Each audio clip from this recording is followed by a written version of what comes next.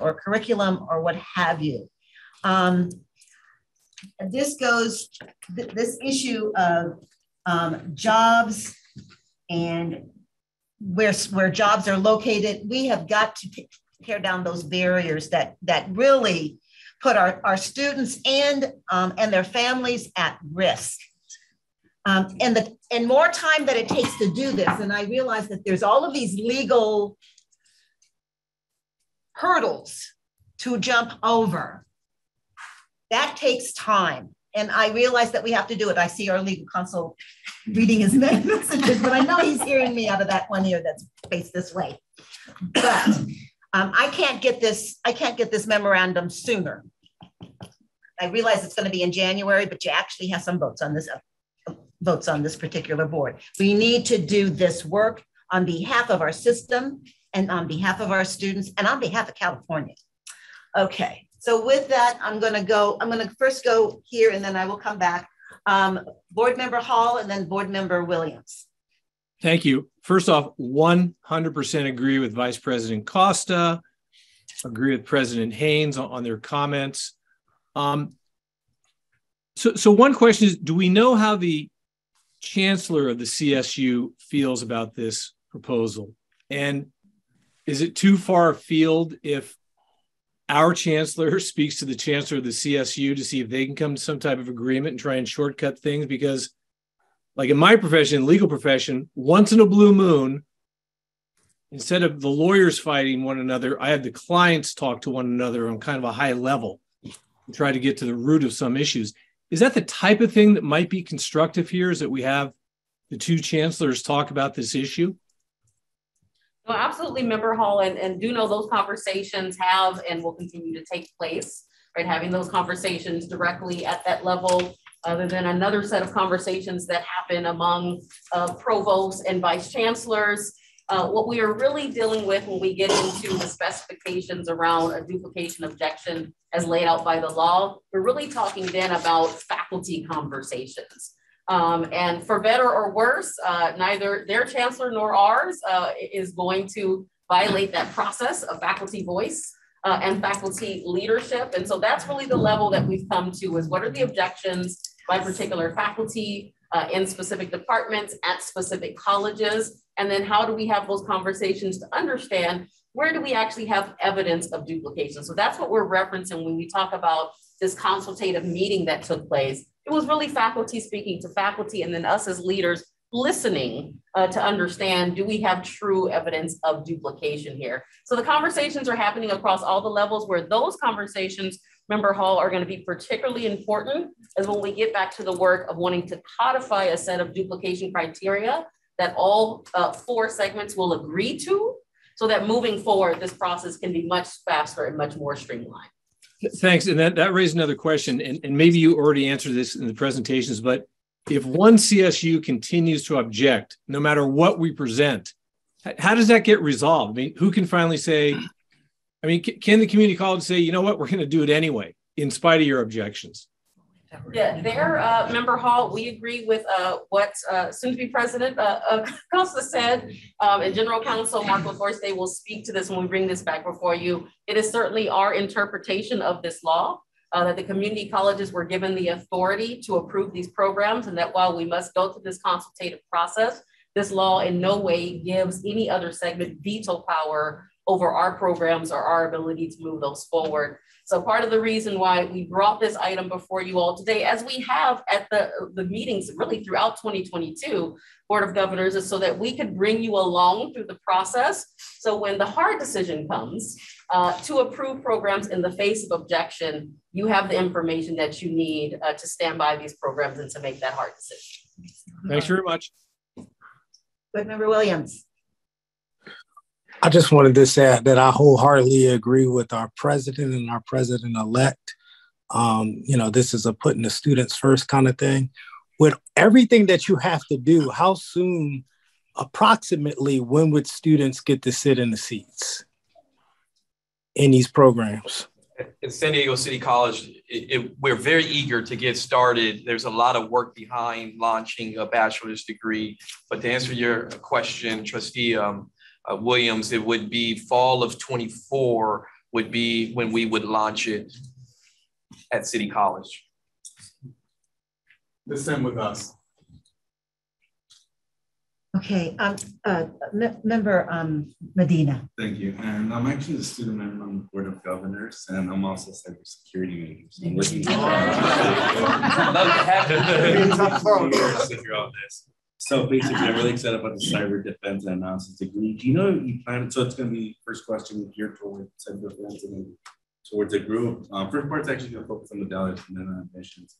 So um, as for the modalities, are any of these programs scheduled to actually, to your knowledge, to include any instruction, synchronous versus aids, or weekend courses? The reason I mentioned that if not, because obviously for equity purposes, obviously having the full modality works out with non-traditional students such as myself.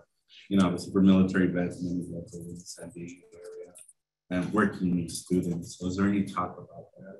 Is it part of the can actually offer? Um, was it not but so So, so the answer to all of that, without getting into a detailed answer, the quick answer is yes, right? So, so the average city college student, which you can see on this handout, is not an 18 year old. It's someone who was in the military, someone who was formerly incarcerated. It is a mother who raised their children and now is coming back to work. And so we tend to offer courses in a number of modalities to include online in the evening, not necessarily on the weekend, but those are things we're in discussion with uh, our faculty leadership uh, at the moment. About for the other two programs. It's exactly the same. Our program, our associate degree program, us online and hybrid and on ground offerings. Yeah, we will have multiple modalities. Um, also, I will say that part of our district attorney settlement with PG&E for the Dixie Fire was $2 million to Feather River College for forest restoration. We have many grants. So we actually have money available to help students out. Our motto is don't let money get in your way. We'll help you out along the way. So if, if it's a money or a job issue, we're, we're, we're poised and ready to help out.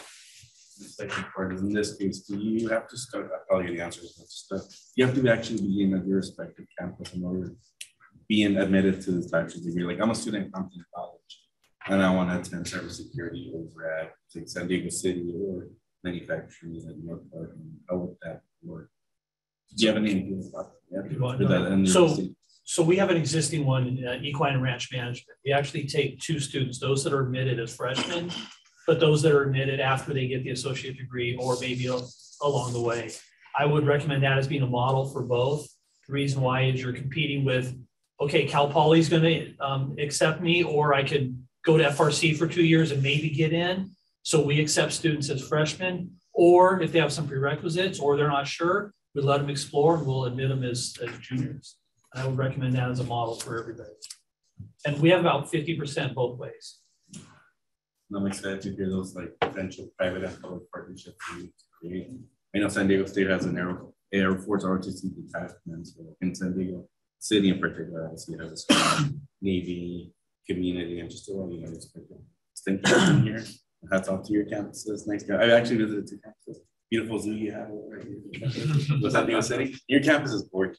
I just think it's You visit Feather River, you will want to stay there. I know.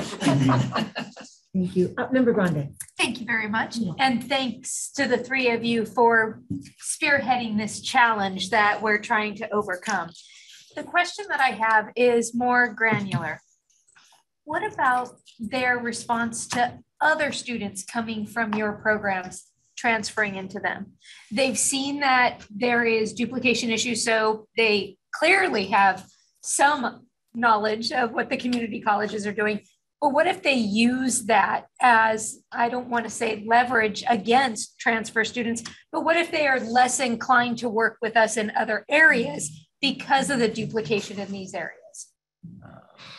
I would speak for ours because we're the ones that have gone through three iterations with them, even though the law only says one iteration in thirty days, by the way.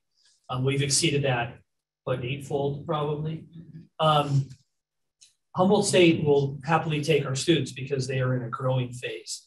Uh, you saw the people who started with our objectives in my timeline, and I will show you that um, Cal Poly San Luis Obispo originally had 412 applicants for their fire prevention program. They only admitted 122 of them. That's 30%, 29.7% admittance. So there is a lot of room for those students to find somewhere else to go. I don't think that they're gonna hold anything against our students transferring one way or the other because they come from a school. But they don't have room at some schools and the schools that have room are in a growth mode. They'll be happy to take them any, anyway. That's been my impression. And, and I would add a couple of things. One, when you see, when you learn that the UCs pretty much backed out of this because we're not a threat to them. And when you look at the CSUs that are putting up the biggest concerns, those are the ones that are low enrolled. Uh, so my personal opinion um, is that this is this is elitism at its core. This goes back to the educational master plan, and and um, this is not going to go away um, because there are some CSUs that have concerns, and maybe they should be concerned because we believe that the teaching at the community college is, is equal, if not superior to um, some of the four years that are out there. So maybe they should be concerned. And I look to this board's leadership to make a strong stand on the future community college students. Again, some of our students can't get into these, not because they're not admissible, they're not being let in to these colleges. And so we have an opportunity, and I think we even have an obligation to offer more bachelor's degrees and to, and to lead. California boasts about being leaders in industries. This is an area where we're not a leader, and we have an opportunity to be a leader as a community college and a number of bachelor degrees that we offer. So I'm not afraid, and I hope that you're not. Yeah, similarly, I, I think that I know that we provide students to the CSUs and the UCs that are exemplary students and that they do well, and often they do better than, uh, than the native students in the, at those institutions. And so I know our students are competitive. Um, it is the precedent that we set with this particular decision that will further determine the nature of our relationship, you know, with the CSUs and the UCs. Um, and so I hope that the precedent will be that, you know, our programs are of high caliber and we're responding to what our local industry needs are, and that by doing so, we meet the needs of the nation. Thank you all so much for championing this. Um, the baccalaureate degrees in the California community colleges are such an area of opportunity for us, and I just can't wait to see them grow and prosper. Yes, you can. So we have the equine and ranch management. I don't want to focus too much on that, but I, we have lots of success metrics, but what told me we had, we were arrived was when Ted Turner came down and hired some of our graduates a couple of years ago to manage his ranches in Montana. If Ted Turner is coming to hire our graduates, I know we have a quality product. Thank you.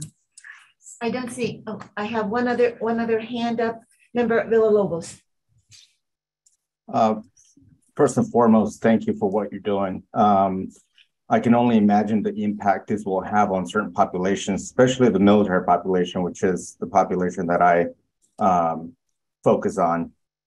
Um, this is a great opportunity for us to uh, work together on something that will positively impact so many. So I'm 100% on board. Anything we can do to support, uh, just like everyone else said, you know, we're we're here for you, and uh, we're looking forward to that. Thank you. Um, is there any public comment? All right, we do. The public comment period for item 6.3 is now open. We will start with public remarks in Sacramento, then move on to virtual comments. For virtual attendees, please utilize the raised hand feature. If you're calling in, press star nine. You have two minutes. I will hand it over to Vice President Costa for any public comments in Sacramento. Thank you. Tim McGrath. This is my second Board of Governors meeting and the second time I've spoken in front of you, which is very unusual. My name is Tim McGrath and I was the Vice President of Instruction at San Diego Mesa College, and we were one of the original 15 colleges. And what we've asked these three colleges to do to jump through the hoops, as you said, is almost unimaginable. First off, I would like to thank the Chancellor's Office for not only representing our collective interests, but also for stepping up and pushing back. But I'd also like to recommend to the board we need you to step up and work with them in pushing back against the CSUs and coming up with a seamless process that would allow us other colleges that we don't have to jump through these hoops. If you think about it, I'm the CEO rep on the, on the baccalaureate programs in the state. If each one of the programs, 25 programs, had 100 students, that's 2,500 students. There's 500,000 students in the CSU system. We represent half of 1% really how much of a competition are we? Remember, our degrees are applied degrees. The CSUs can offer the same degrees that we offer. They also create master's programs to complement that as they go along. So one, I would like to thank the Chancellor's Office for your leadership and for stepping up. I admire my colleagues for doing the extra work, but now really I challenge all of us to push back against the CSUs to make sure we can meet student. Thank you. Next, we have Larry Galizio. Uh, thank you, uh, President Haynes, Vice President Costa, and congratulations. Now, to be president, congratulations, uh, member Aguinaldo, and uh, member Medina. So you're at Compton with uh, Dr. Keith Curry. You're talking about transferring or moving to.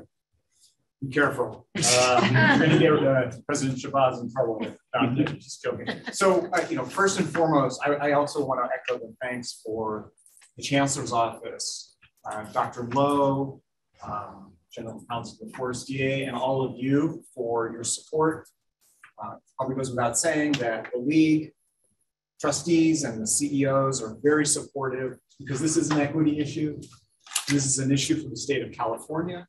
Uh, you know, we have the chief deputy cabinet secretary here who's listening, and I know he recognizes that there's no way we're going to get to the 70% of Californians with a baccalaureate degree by 2030. We're not going to advance by 20% for the California community colleges with degrees and certificates unless we are entrepreneurial and innovative and responding to the workforce needs of the local communities. I mean, it's just not going to happen.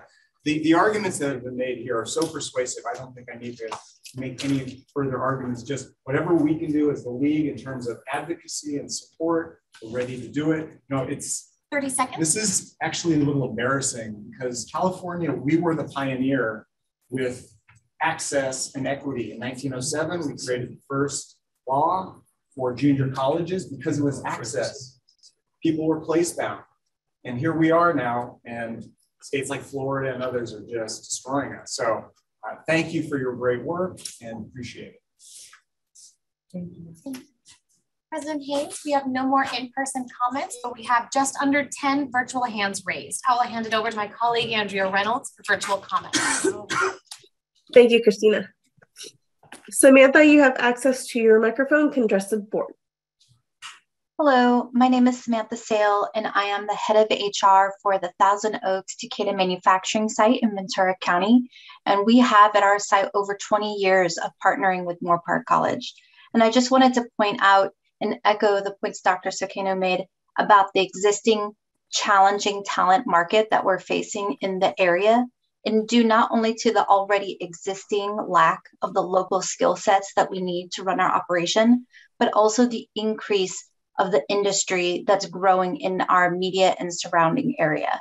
A program like what Moorpark College will be offering, hopefully, will really bring cost effective education to a diverse talent pool so they can meet our minimum requirements for the roles that have potential for really lifelong career opportunities.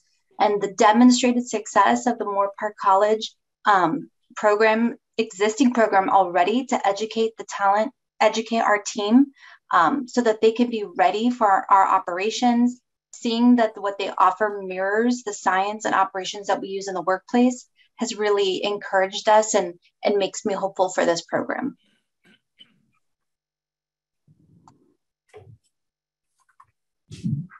Subhash Kakari, you have access to your microphone and can address the board. Thank you. Good afternoon. My name is Subhash Kakare, and I'm the lead faculty for the Moorpark uh, Biotech program. I would like to speak from the perspective of both a community college instructor and someone who has worked in industry in the biotech biomanufacturing for several years. Biomanufacturing is a hands-on vocation employees typically operate and troubleshoot processes that are used to produce biopharmaceuticals. This requires skills that are not typically taught in one of one cohesive four-year program at any of the CSUs. For example, a manufacturing associate requires skills in cell culturing, microbiology, chemistry, as well as some engineering principles. In addition, quality control and validation are extremely important. Our BS in biomanufacturing program is designed to provide students with all this practical background. There are many jobs in the biotech industry that require traditional four-year degrees.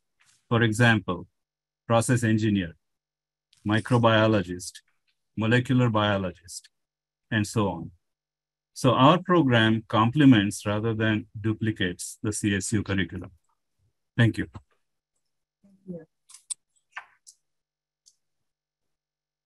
Hayden Lampy, you have control of your mic and can address the board. Hi, my name is Hayden Lampy, and I'm a graduate of Feather River College. I left FRC in 2020 with two associate's degrees in environmental studies and in outdoor recreation leadership. Since graduating, I've been working locally in my field at the Feather River Resource Conservation District. My first field season, I worked as a forestry technician, and then I returned to the RCD the following season as crew lead. Throughout my two seasons at the RCD, we had projects involving reforestation, thinning, prescribed burning, and riparian restoration. Having a career already started in Plumas County, being a landowner, and having family close by leaves me rather place bound despite my desire to continue my education. After graduating from FRC, I had every intention of moving and transferring schools in hopes to pursue a bachelor's and even a master's degree.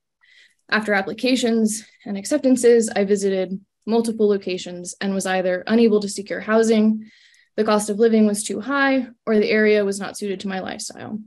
The approval of this ecosystem restoration and applied fire management degree would provide me with the opportunity to further educate myself and allow me upwards mobility in my chosen field.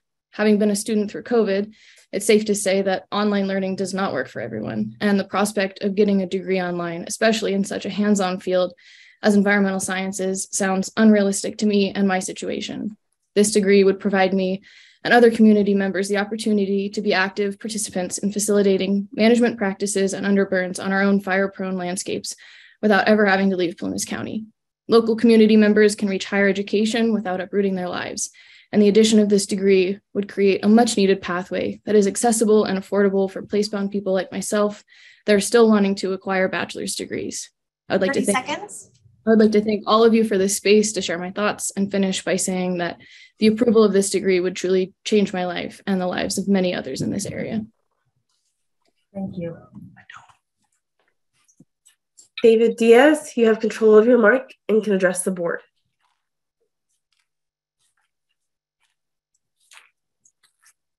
David, you can go ahead and unmute yourself. My name is David Diaz, and I've taken classes at City College in computer programming. I really need the uh, bachelor's program in cybersecurity to take place so that I can better myself. I have a lot of friends in the DoD as contractors, and are a lot of friends that are in the military and have uh, served in the military and they told me that this is a very good opportunity. Um, I need this so that I can actually go forward and do something better with myself. Uh, right now, I was looking at a uh, book. Uh, I, I, got my certificate in bookkeeping, but I want to go back and uh, use that computer programming knowledge that I learned at City and apply that to something, bridge it with cybersecurity. It's so many jobs available here, but I don't have the knowledge uh, there was a program that was a boot camp that gives me a certificate, and that was going to be over twenty thousand dollars, but I can't afford that. So I'm hoping that I can get this program passed here, at or that it, the board governors and it, this program can be passed here in San Diego. And then if I got this bachelor's degree here, then I can go ahead and um, get a better job. Uh, there's so many opportunities. My friends are telling me that this is the way to go, and I agree with them. I'm looking forward to this. I really hope that I could take, continue taking more classes at City College with this program. It's a big opportunity. I, I, I just can't. I've been sitting in my car for two hours just so that I could speak. I didn't want to lose this chance to just voice my opinion that how much I hope that I can get this uh, bachelor's under my belt. Uh, I'm looking forward to it. Uh, I just wish that this could have been here sooner. Um, I know that it's a process. It's 30 seconds. growing field, uh, many jobs, and then very well paying. Uh, I just need to know what steps are next. Um, and then after the computing computer programming classes are all done, then this is where I guess I could maybe continue my education with the bachelor's program at City College. So thank you for your time, and I hope that this is possible. Thank you. David Kennemer, you have access, excuse me, to your mic. Please address the board. Hello, David Kennemer, professor, San Diego City College. Um, good afternoon, everyone.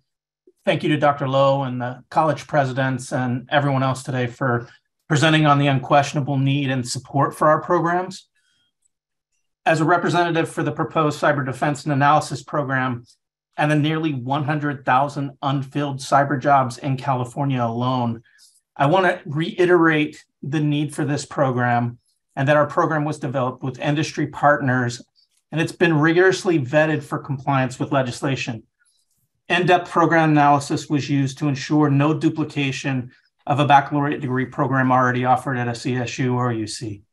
Further validated by no direct transfer opportunities for our students. As for the students we serve, I want to share with you the words of education activist Malala Yousafzai. I raise up my voice not so I can shout, so, so that those with a vo- without a voice can be heard.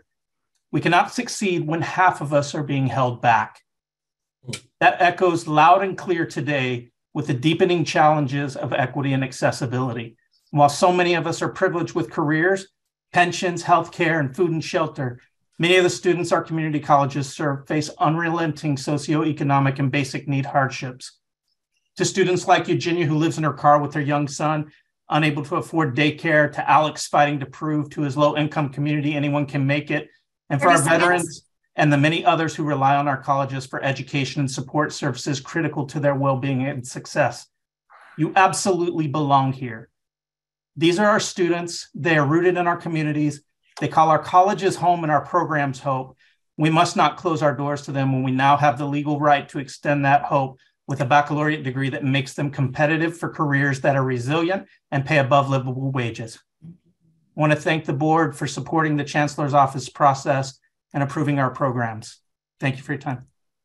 Thank you. SD House there, you have control of your mic and can address the board. Hi, thank you for your time.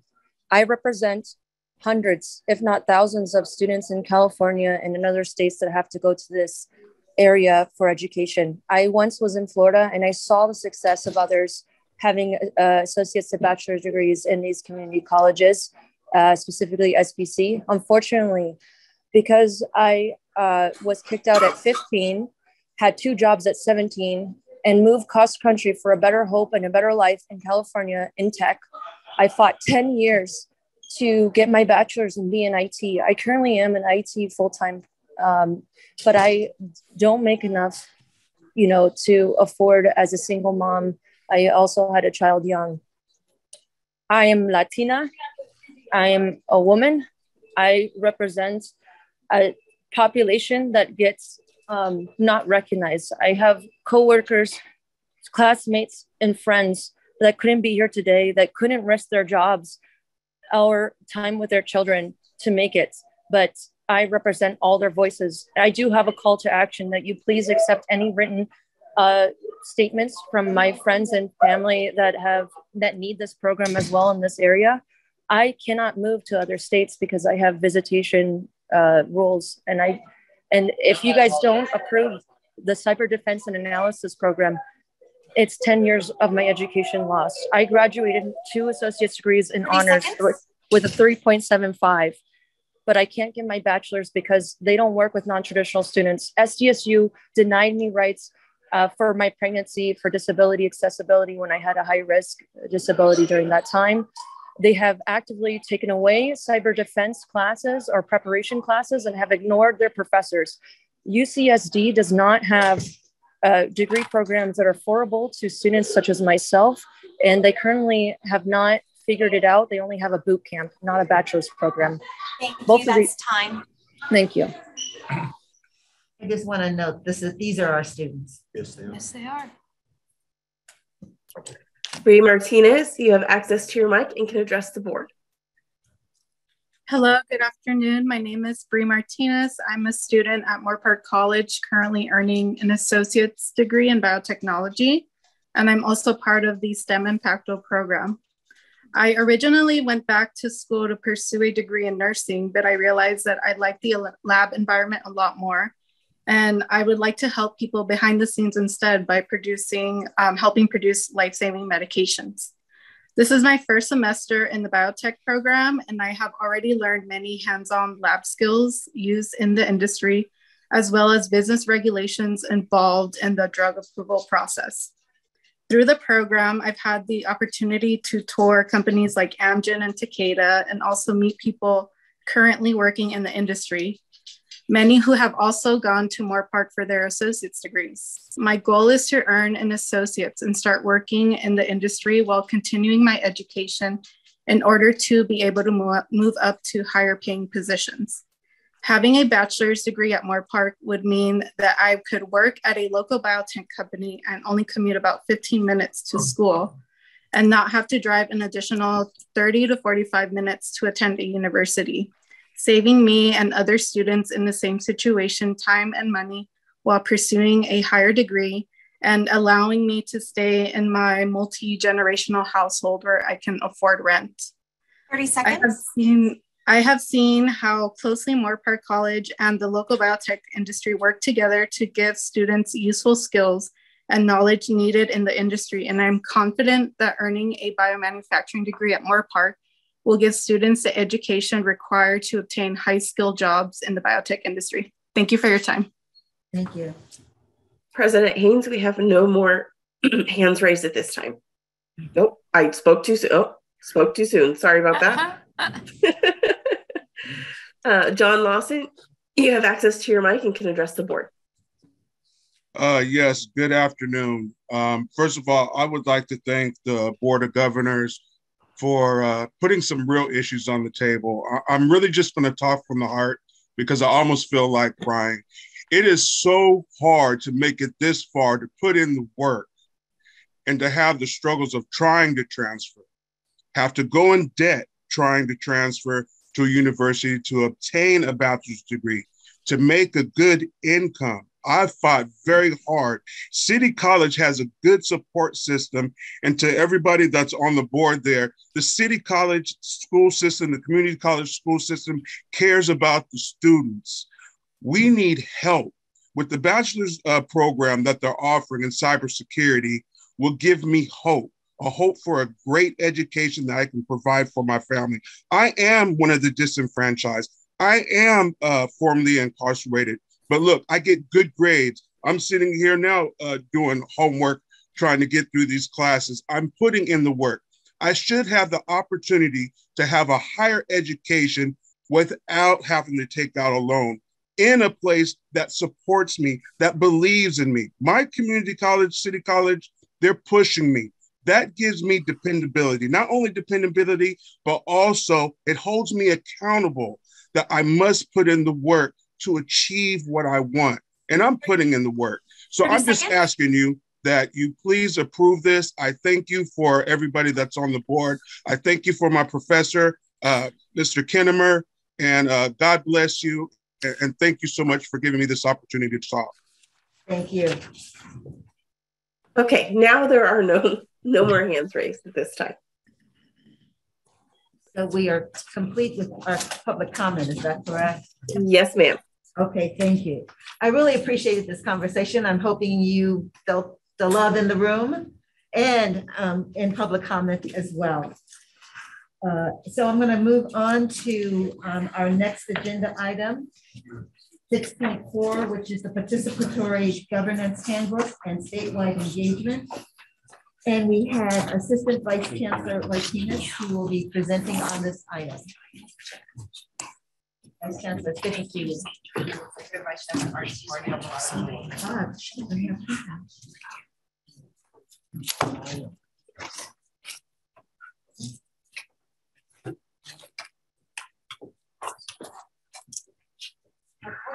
Good afternoon. We'll jump in. Um, we will try to make it quick. I know we need to make up some time. Uh, good afternoon. Marty Alvarado, Executive Vice Chancellor for the Office of Student Learning Experience and Impact. Um, excited to have a conversation about participatory governance um, this afternoon. And let's just move to the next slide. Um, so we wanted to reground the conversation uh, this afternoon around um, our policies related to open government and why we engage in the act of participatory governance. Um, I think fundamentally we want to uh, emphasize that the culture that we are trying to create around participatory governance is inclusive voice. It aligns with our DEIA culture that we have been trying to uh, adopt across the system and prioritize. And so one of the things we wanted to make sure we highlighted today is that as part of our uh, responsibilities as a state agency is to ensure that the public has access to and is able to weigh in and inform uh, our office when we are doing the public's work, when we are doing state level work. Uh, and we one, one method for doing that is through our different committee structures. I do want to emphasize though that the consultative and participatory governance process happens through multiple multiple vehicles. So what you see on the screen in front of you are just the policies that govern our participatory governance process and structures. Um, and then that last line underlined, I think really nails it. The proceedings of public agencies should be conducted, must be conducted openly so that the public may remain informed and participate. Next slide, please. Um, however, what we also want to always make sure we are elevating is the tension that this board has discussed several times, which is the responsibility that the board has to provide leadership and direction and general supervision for our collective system, while at the same time maintaining to the maximum degree uh, permissible local authority and control. Ultimately, we all know that locally there is a tremendous level of accountability and responsibility for the operationalizing and governing of the implementation of regulations and policies. And this board sets the enabling conditions and infrastructure required to ensure that we are moving the system in the direction needed. Next slide, please. With that in mind, uh, we are trying to design our participatory governance infrastructure, offerings, et cetera, um, to balance those competing principles that the board has and that the chancellor's office has to maintain. And so what you see on this slide is a visual representation that we've um, brought to this board previously that really highlights the cycle of engagement uh, that happens through our different participatory governance groups in both informal and formal ways. Uh, they, uh, the public provides information on the work of the board through the chancellor's office we collect that information, we process that information, we engage in deep and active listening, and then move recommendations forward to the Board of Governors and invite additional voices, as you've heard in the previous panel. Um, so just wanted to make sure that we were being clear on how we have been approaching participatory governance and um, taking the board's direction to be as efficient as possible while also implementing strong DEIA principles that include inclusive listening and diversity of voice at the table. So, next slide, please. Thank you. Uh, to continue this item, I'm going to go ahead and cover uh, how we're creating meaningful ways to engage with our stakeholders, but also to provide a bit of background for you so that you're aware of where, we, where we've been and where we're headed just so you get a sense of our current engagement. In 2022, you actually see that we're overseeing 21 statewide working groups with over 440 stakeholders that serve as official representatives. I think it's important also to note that 71% of those statewide working groups are actually in educational services and supports division, which is a huge lift. So I do want to thank our colleagues in ed services who have continued to lead that work and move that work forward. So a huge thank you to you. Uh, and then most recently, we also recognize that the recommendations made in these work groups uh, impact our students directly. So we have made improvements and currently 18 out of our 21 uh, statewide groups have student representatives to help inform the work. So thank you to our students. We're very thankful for their contribution and for uh, participating in these statewide working groups. Next slide, please. Now, a bit of background. In 2018, you as a Board of Governors requested the Chancellor's Office eliminate the silos in our statewide working groups, which is what we, which is why we initiated this work. And an update was then provided to you um, as a board in November of 2019. And a further request was then made uh, to provide continuous updates that would include a defined charter for all of the statewide working groups and their goals that align with the vision for success. The current handbook now clearly states those charters and goals, so you um, should be able to see that now. Furthermore, we were asked to make the necessary structural and membership changes that would help advance the integrated planning and, the holistic and that holistically serve our students. And we continue to make those uh, improvements in those areas. And then lastly, the board also asked us to coordinate statewide support and advocacy for the Board of Governors budget and legislative requests. And I think that's evident now uh, that our working groups are doing just that and it's and is reflected in the um, budget that was uh, recently approved by the board, by the governor's office for our system. So a huge thank you to our working groups who continue to advocate for more research to serve our more than 1.8 million students. And also thank you to this board uh, for advocating as well. Next slide, please. And since November of 2019, the Chancellor's Office has identified a total of 16 statewide working groups that were either duplicative or have been integrated to eliminate those silos. These updates were provided to you in January of 2021, but since that last update that you received, we see that four more working groups have sunset or are, in, or on hiatus right now. The first one being our Student Athlete Bill of Rights Work Group, and this group sunset in the second half of 2021 having completed its charter, which was to review the existing regulations on this topic and also provide a report with recommendations to the state legislature. Uh, this report was actually provided in June of 2021. And then the second one is AB 705, GSO Implementation Work Group. This uh, work group is currently on hiatus to allow the colleges and the districts to take required actions, but it will reconvene in 2023, uh, 2024. And then the third one is Climate Action and Sustainability Steering Committee. And this group was actually integrated as a subcommittee of the Fiscal Affairs Advisory Committee. And then lastly, our Student Metrics Advisory Committee, this group actually sunset after concluding its chartered goals. And then meanwhile, of course, we still have additional work that continues to come our way. So we have five new working groups that have formed to address the social issues and uh, our new curriculum requirements, which the first one being, you guys just heard baccalaureate degree program work group, um, which is a huge lift for our office, but really excited for the work to come. Our police reform task force, our ethnic studies task force, also our rising scholars advisory committee, and then lastly, the requiring social materials um, task force, uh, which used to be called or known as zero textbook cost task force. Next slide, please. So I think moving forward, we're very clear that we have to continue to improve um, our statewide engagement and the following are the proposed ways that we plan to do that. Currently, the plan is to start off each year with an annual onboarding process for our participants in our statewide working groups. And then secondly, our goal is to collaborate with our students, uh, Student Senate to also onboard student representatives that will be serving on the statewide working groups. And then of course, we can't leave um, out our training for our own agency staff who are leading, managing a lot of these efforts and meetings. And we want them to be able to recognize the importance and, the, and elevate the student voice during those meetings. So we're currently developing an internal handbook that will help us onboard and train chancellor's office staff. We also recognize that in order to have continuous improvement, we have to be able to measure the progress we're making towards each working group's um, set goals so that is something we plan to do this coming year. So you should see um, that work in next year's update. And then lastly, we plan to have an ongoing evaluation of the existing statewide working groups, uh, structures and memberships to make sure that we have the right participants to inform the work that's moving forward.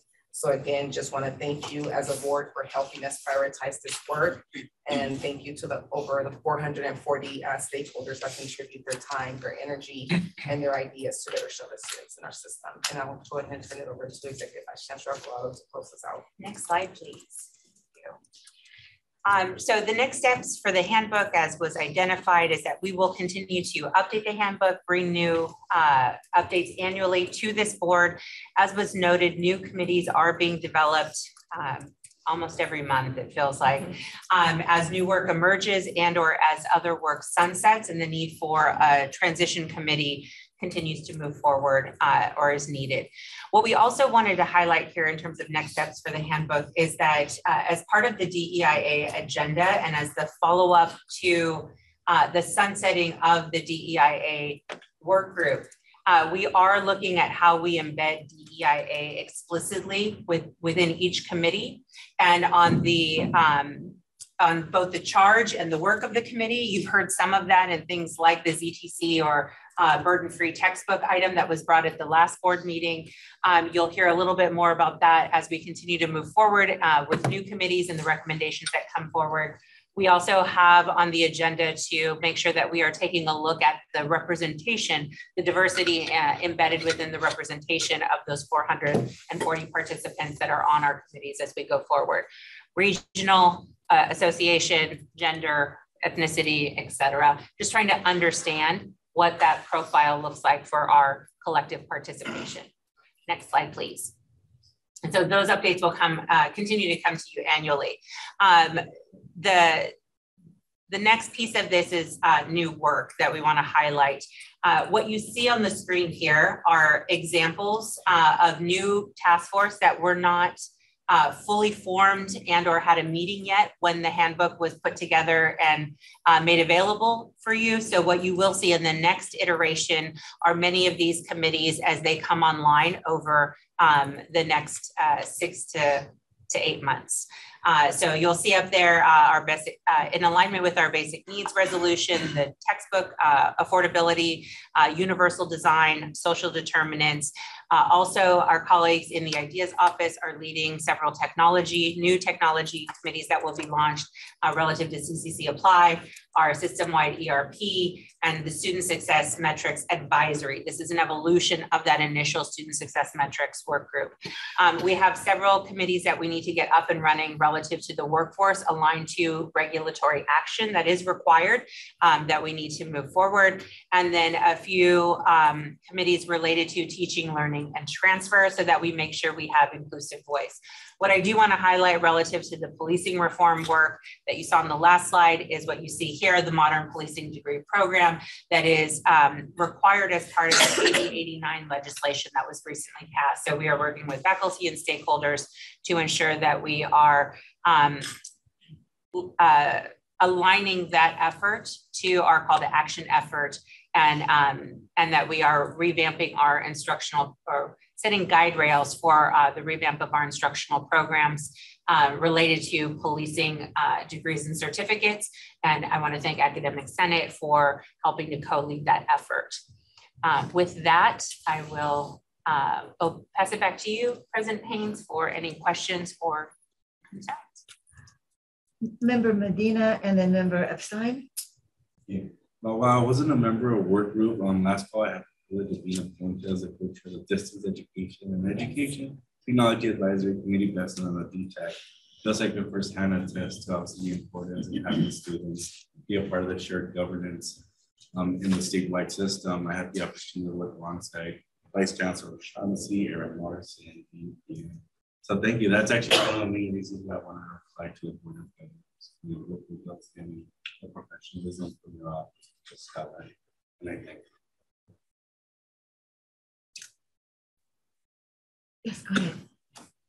Uh, thanks for the excellent report. As, as you may recall, I'm the one that has forced you to do this report um, every year, and, uh, and I appreciate it. I think it's it, really does explain what's going on.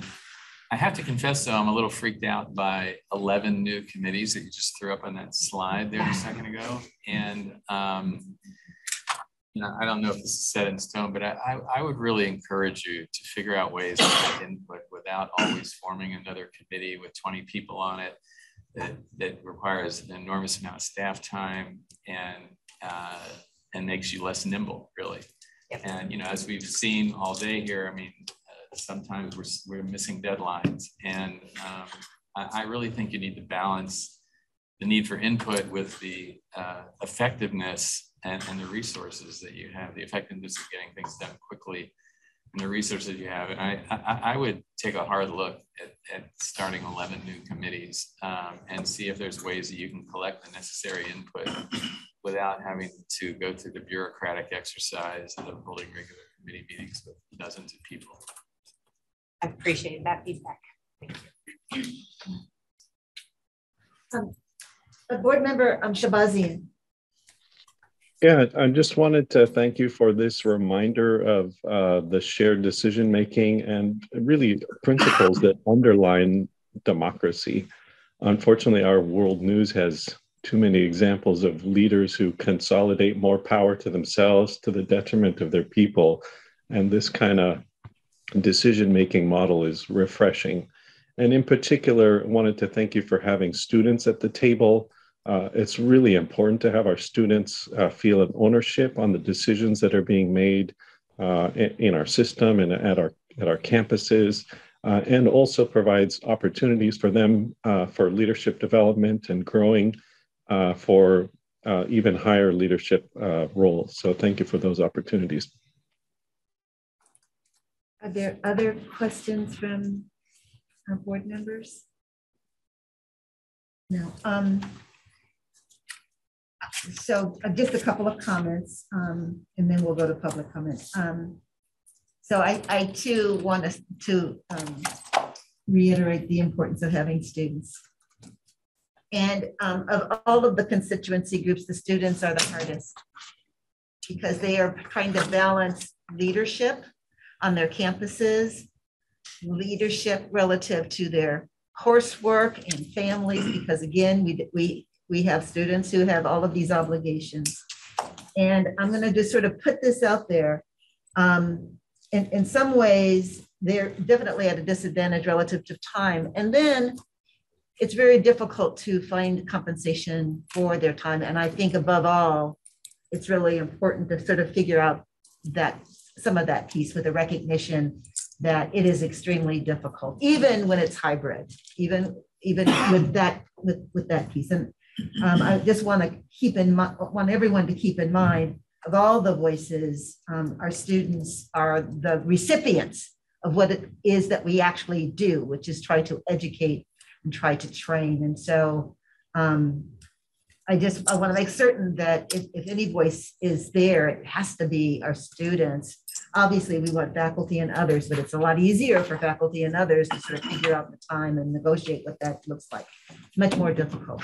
So to the extent that we work with the Student Senate, work with the faculty, our partners, and figure out how we ensure that those voices are at, at every table in which we make decisions. And I, and I also think that what um, um, Member Epstein has said it, it should be sort of considered how do we do this work in a way that we're not sort of reinventing a wheel, we're recreating. Um, and, and, then how do we make certain that our partners feel value in this process? One of the benefits of, if there is a silver lining of COVID, said we don't have to get on a plane anymore. Okay. We can hold these in our office, we can hold these in our bedroom if we have to um, but we, we can still get feedback.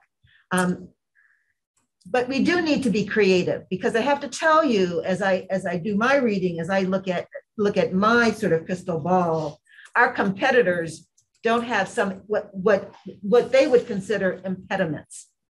Um, so and and I don't want to say that we all have impediments, but we do have to move with do with deliberate speed relative to this um, or, or else again, my comments earlier this morning was we need to listen to our students who are on our campuses. We need to listen to our students who are no longer on our campuses. And they are have they have they have moved in another direction, either not coming back to us. And I have relatives who basically said, I sat in that seat and I don't think college is for me. And so, and they and and that grandniece is not, a, not alone um, in saying that. So we have to figure out how to move this process in a way that gets to solutions and answers a little bit more quickly than we are doing, um, and, and, still come up with a quality a quality solution. Because I, I, don't want to I don't want to miss I don't want you to misread that we're looking for speed over quality. We are not, but we are looking for speed, some level of speed. Um, if there's no other comments or questions from the board, um, is there public comment? The public mm-hmm. comment period for item 6.4 is now open. We will start with public remarks in Sacramento, then move on to virtual comments. For virtual attendees, please utilize the raise hand feature. If you're calling in, press star nine. You will have two minutes. We do not currently have any in-person comments, but we do have nine hands raised, so I will move to virtual comments. Thank you. Trisha Albertson, you have access to your microphone and can address the board. Thank you. Good afternoon, President Haynes, Vice President Costa, and members of the board. My name is Trisha Albertson, and I am the president of the California Community Colleges Classified Senate, a classified professional who has worked at Chaffey College for 22 years and a proud past Board of Governors Classified Employee of the Year. Since January 2019, the 4CS has requested a modification to the California Community Colleges Chancellor's Office Consultation Council membership structure multiple times. It has been more than three years since our initial request, and today we call for a decision per Article 3.342 in the procedures and standing orders of the Board of Governors. As a system, you talk about diversity, equity, inclusion, and accessibility, and currently the Consultation Council membership does not meet these needs. While CSEA and CFT have membership representation on Consultation Council, it is exclusive. The voice of the California Community Colleges classified professionals is still underrepresented. Following fellow Senate organizations, 4CS is open to all community college classified professionals, and we should be added to the Consultation Council. This is an opportunity for the Board of Governors to support the system's mission and include the voices of all classified professionals. In addition, in addition, we support adding a seat for the RP group as research and planning experts is critical to the application of legislation such as planning, equity, strong workforce, guided pathways, and the support for vision for success. Thank you for your time and remember, it's the right thing to do for our students, classified professionals, and the system as a whole. Thank you. David Rodriguez, you have access to your mic and can address the board. Hello, good afternoon, board members and all in attendance. My name is David Rodriguez. I have worked as a classified professional for over eight years and currently work at Las Positas College. I am the past president for the for my college's classified senate and currently serve as a member of the board of directors for the California Community College Classified Senate. I am proud of the California Community Colleges and currently work as a research analyst. I was a first generation college student, first in my family to be, to be born in the US, raised by a single mother living paycheck to paycheck the work we do in the community college is dear to me and my class and to my classified colleagues. We know that our collect our collective work throughout the system provides students the opportunities to broaden their horizons and learn new skills that can help them climb out of poverty and contribute their talents to society. We choose to work here because we, we choose to work here because we care about making a positive impact for our students. Classified professionals bring a diversity of experience, unique lived ex- diversity of ex expertise, unique lived experiences, and often interact with students in a wide range of contexts throughout their journey at our institution. Many classified professionals meet students before it, they even register for classes and serve as a bridge and advocates for students navigating our institutional processes and mandates require, uh, mandated requirements. Uh, I hear I'm here to, today to call for a decision on the January uh, 2019 request for adding a 4CS representative to the Consultation Council. Adding a 4CS representative seconds. will help us make progress toward our system's focus on diversity, equity, inclusion, and accessibility. Uh, full, fully representing classified professional voices will help us sustain richer dialogue that can help us meet our system challenges and continue to serve our students and community excellence. Um, and similarly uh, uh, would support as a fellow researcher uh, to add a representative of, of the RP group. I think they they provide invaluable uh, objectivity and uh, uh, where, where, we search for insights into improving our dialogue. Thank you. Deborah Knowles, you have access to your mic and can address the board. My name is Deborah Knowles. I'm a classified professional with 15 years at Sacramento City College. I hold a master's degree and have taught in graduate programs. I also have experience as a nonprofit CEO. Many, like me, choose the work we do, which happens to be classified positions. I began serving on the California Community College's Classified Senate in 2013 when I realized classified professionals were omitted from the law as a required presence and were missing a voice from important planning conversations.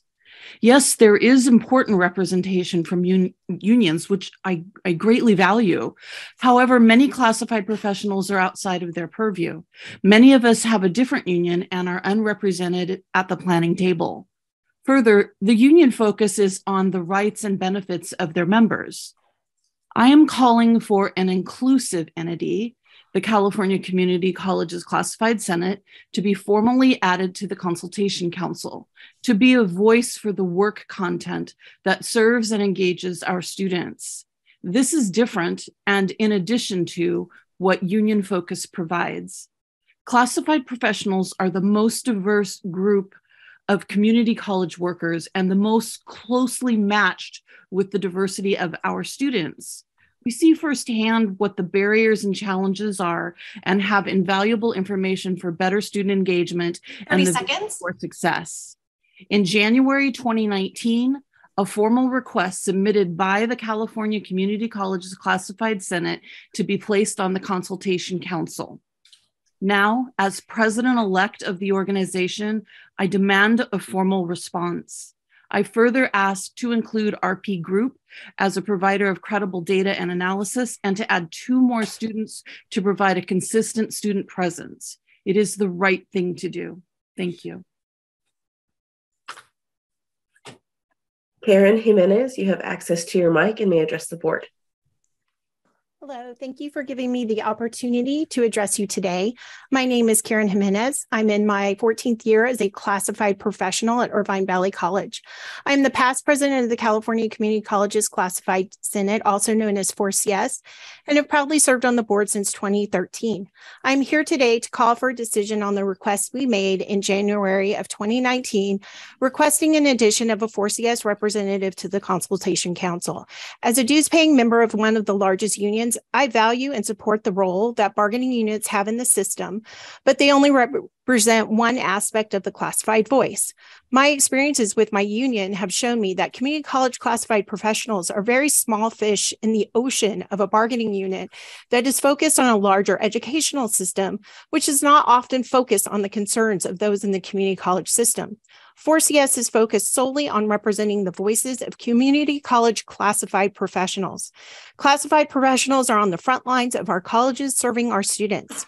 4CS can and will bring the boots on the ground voices of classified professionals to the advisory process. We will provide insight into the realities of implementation processes and will work together with our fellow Consultation Council members on strategies that will help our students succeed. In addition, the Consultation Council needs data analysis voices to assist with strategic decision making. This need is best filled by RP Group. And to ensure students are always a part of the advisory process, there is a need to add an additional two students to the Consultation Council so that their valuable input is always present. Representation matters. It is time for this board to demonstrate its respect for the diversity and representation that is, needed to support the next steps of the vision for success by including 4CS, RP Group, and additional student rep representation on the Consultation Council. It is the right thing to do. Thank you. Thank you. Pam Mary, you have access to your mic and may address the board. Good afternoon, Board of Governors, and best wishes, Chancellor Gonzalez. My name is Pam Mary, and I am here as the president of the Board of Directors for the Research and Planning Group for California Community Colleges, also known as the RP Group. We are the body that represents institutional research, planning, and effectiveness professionals from within our state system. Our elected board has 19 voting members and is entirely volunteer. As a board, our fundamental purpose is to promote student equity and success and we are here today seeking deeper collaboration and supporting our students and advocating the vision for success. Specifically, we respectfully request that we be provided with a seat on Consultation Council. Our board of directors has sought such a seat for some time. With the growing reliance on data and evidence to inform policy and practice, as you've been hearing today, now is the opportune time to include research and planning at the Consultation Council table. As is true locally within our districts and colleges, the expertise and perspective of research and planning is most helpful when included early in conversations to share what's already known, what data might be needed, integrate planning and evaluation. Our field is central to work discussed by Consultation Council, such as student equity plans that colleges are now submitting. Our field not only brings data, we also foster dialogue to build understanding of data. Additionally, we help organize and in many cases lead the planning processes at our colleges. Our field spans roles from classified data analysts to administrators at multiple levels. 30 seconds. Like our classified colleagues from 4CS here today, the RP group builds leadership capacity through professional development focused on student equity and success. Personally, I have nearly 30 years of experience in our system and have never before witnessed such an important pivotal time. To navigate and lead into the future, our system would benefit from having us seated alongside our colleagues and our students at the consultation council table. Thank you. Thank you. Monica Sousa, you have, excuse me, you have your microphone. Please address the board. Good afternoon, Board of Governors, President Haynes, and members of the board, as well as attendees in Sacramento and online. I am Monica Souza, a proud product of the community college system. I am a first generation graduate of both American River and Sac City College. I am a 32 year classified professional starting as student help in the Los Rios Community College District. I am also the president emeriti of the California Community Colleges Classified Senate 4CS, a voluntary nonprofit organization. And I've also served on the League's board of directors for over six years. I am here to address participatory governance and statewide engagement on this agenda item. The California Community College System utilizes participatory governance and diversity, equity, inclusion, and, and assess DEIA to meet our mission, student success. Currently, the Consultation Council membership is not successfully reflective of these policies.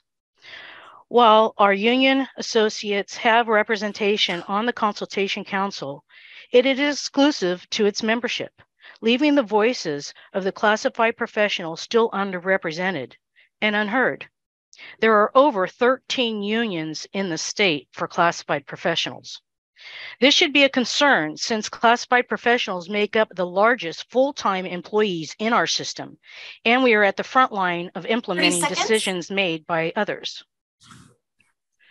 How do classified professionals feel valued if they are not even invited to the table to provide their ideas and solutions? The California Community College Classified Senate is open to all, all classified professionals Therefore, I respectfully request the Board of Governors to support the addition of 4CS to the Consultation Council so that all classified professionals have input in our system. I also endorse, endorse the addition of the RP group representative time. and two additional seats for Student Senate for the Consultation Council. It Thank you. That is time. We appreciate your comment. Chris Tarman, you have control of your mic and may address the board. Good afternoon, Board President Haynes, Vice President Castro, members of the board, and esteemed colleagues in attendance. Thank you for your time today. My name is Chris Tarman, and I'm here representing the RP Group as the Secretary Treasurer. Currently, I work at MiraCosta College as the Dean of Research Planning and Institutional Effectiveness, and I've been in the system working in the field for over 15, 14 years, and I've served on the RP Group Board of Directors for seven. I'd like to request that the RP group be included as a member of the Consultation Council. The RP group and IRPE professionals across the state are key contributors at the center of planning and decision making in achieving the goals of the Vision for Success as outlined by the California Community College's Chancellor's Office. Indeed, I'd like to remind everybody of our mission at RP Group is to build a community college culture that views planning, evidence based decision making, and institutional effectiveness as integral collaborative strategies that work together to promote student success, increase equitable outcomes, improve college operations, and inform policymakers. To that end, our inclusion on the Consultation Council will provide unique insights when discussing strategies and planning for various plans, such as the Student Equity and Achievement Plan, Guided Pathways, Strong Workforce, and other reforms around curriculum, as we heard today for AB 1111 and AB 705. You've hear, hear a lot of talk about data and inform our policymaking using research and evaluation of the effectiveness of those programs. So not only do our members in the field lead the data gathering activities for the projects that I just mentioned, but we also lead the local college and district strategic planning activities designed to push forward the student equity and success goals of the entire system. 30 seconds. Given the importance of research and evaluation of our strategic initiatives, I respectfully request that the RP group, along with our colleagues from the 4CS, be provided a seat on the Consultation Council. Thank you, everybody, for your time. Thank you. Jake Kavari, you have control of your mic and may address the board. Hello, all, all Board of Governors. I wanted to start off by thanking you for your time today. My name is Jake Kavari, and I am the Vice President of Board Development for the Research and Planning Group, known as the RP Group. For over 10 years, I have held positions as a faculty member, classified professional, and more recently, an administrator in the California Community Colleges at Moreno Valley College as the Dean of Institutional Effectiveness. The RP Group is organization statewide that represents the institutional research, planning, and effectiveness professionals in the California Community College, where I have been part of the board of directors for over five years. For that reason, today I am here before you as, as an RP board member and requesting that the RP group be a member of the Consultation Council. Like other members of the council, the RP group and the professionals I represent have California Community College students at the center of our collective decision making and achieving the vision for success. The mission, vision, and core values of the RP group can be summed up as a commitment to student success and equity in our California community colleges. With that in mind, being a member of the Consultation Council provides an opportunity for our expertise in planning, research, and institutional effectiveness, including accreditation, to be part of the conversation when discussing strategies and planning for various plans such as student equity and achievement, guided pathways, and strong workforce. For example, many of the institutional effectiveness leads are the point of contact for the Vision Alignment Project, which ties college activities specifically to the Vision for Success goals, including myself as a lead for my college. Additionally, we are at the table at our colleges to provide measures on the effectiveness of committees and strategies, as mentioned in this presentation of evaluating participatory governance, including the student voice in the decision-making progress. We are here today with our fellow colleagues in the Classified Senate and asking to be part of the Consultation Council and adding seats to the table with our expertise and representation across the state. Thank you. Thank you. We have one more hand raised. Nicole Williams, you have access to your mic and can address the board. Good afternoon, everyone. My name is Nicole Williams. I have been a um, classified professional for over 15 years in the Los Rios Community College District. And I just want to, first of all, uh, acknowledge my colleagues who have spoken here um, just before me and agree with everything that they're saying, give them my full support. I also want to address uh, what uh, President Haynes had said on having a student representative on everything that we're doing and making sure that we're having students at the table. Clearly, we need to have more students available to us in these different decision making processes. So, when our colleagues are saying two more students, I don't see why um, that would be an issue uh, so that we can make sure that we're having the proper student representation. Additionally, with that, classified professionals are instrumental in everything that we do. There are often times that we are the front line. We are the first person that students see, and we are the last persons that the person that that student will see as they're going through their career with us. We tend to be their person. We tend to be their their ear, their confidant, their shoulder when they need it. We also need to be in these discussions. We don't have release time. We don't have the ability to come to the table even when we are invited. I know many of us have been sitting here on this call today, but also doing our regular jobs at the same time because we don't have the ability to make the choice to be somewhere else fully when we still have to get our stuff done. Without getting our items done, where would we be? So, with that, I do highly encourage and ask the board to continue with the process of approving um, our seats on the consultation council and also really look at what classified staff, classified professionals um, do for all of us um, and for our students. Thank you. President Haynes, there are no more hands raised, and this concludes public comment for this item.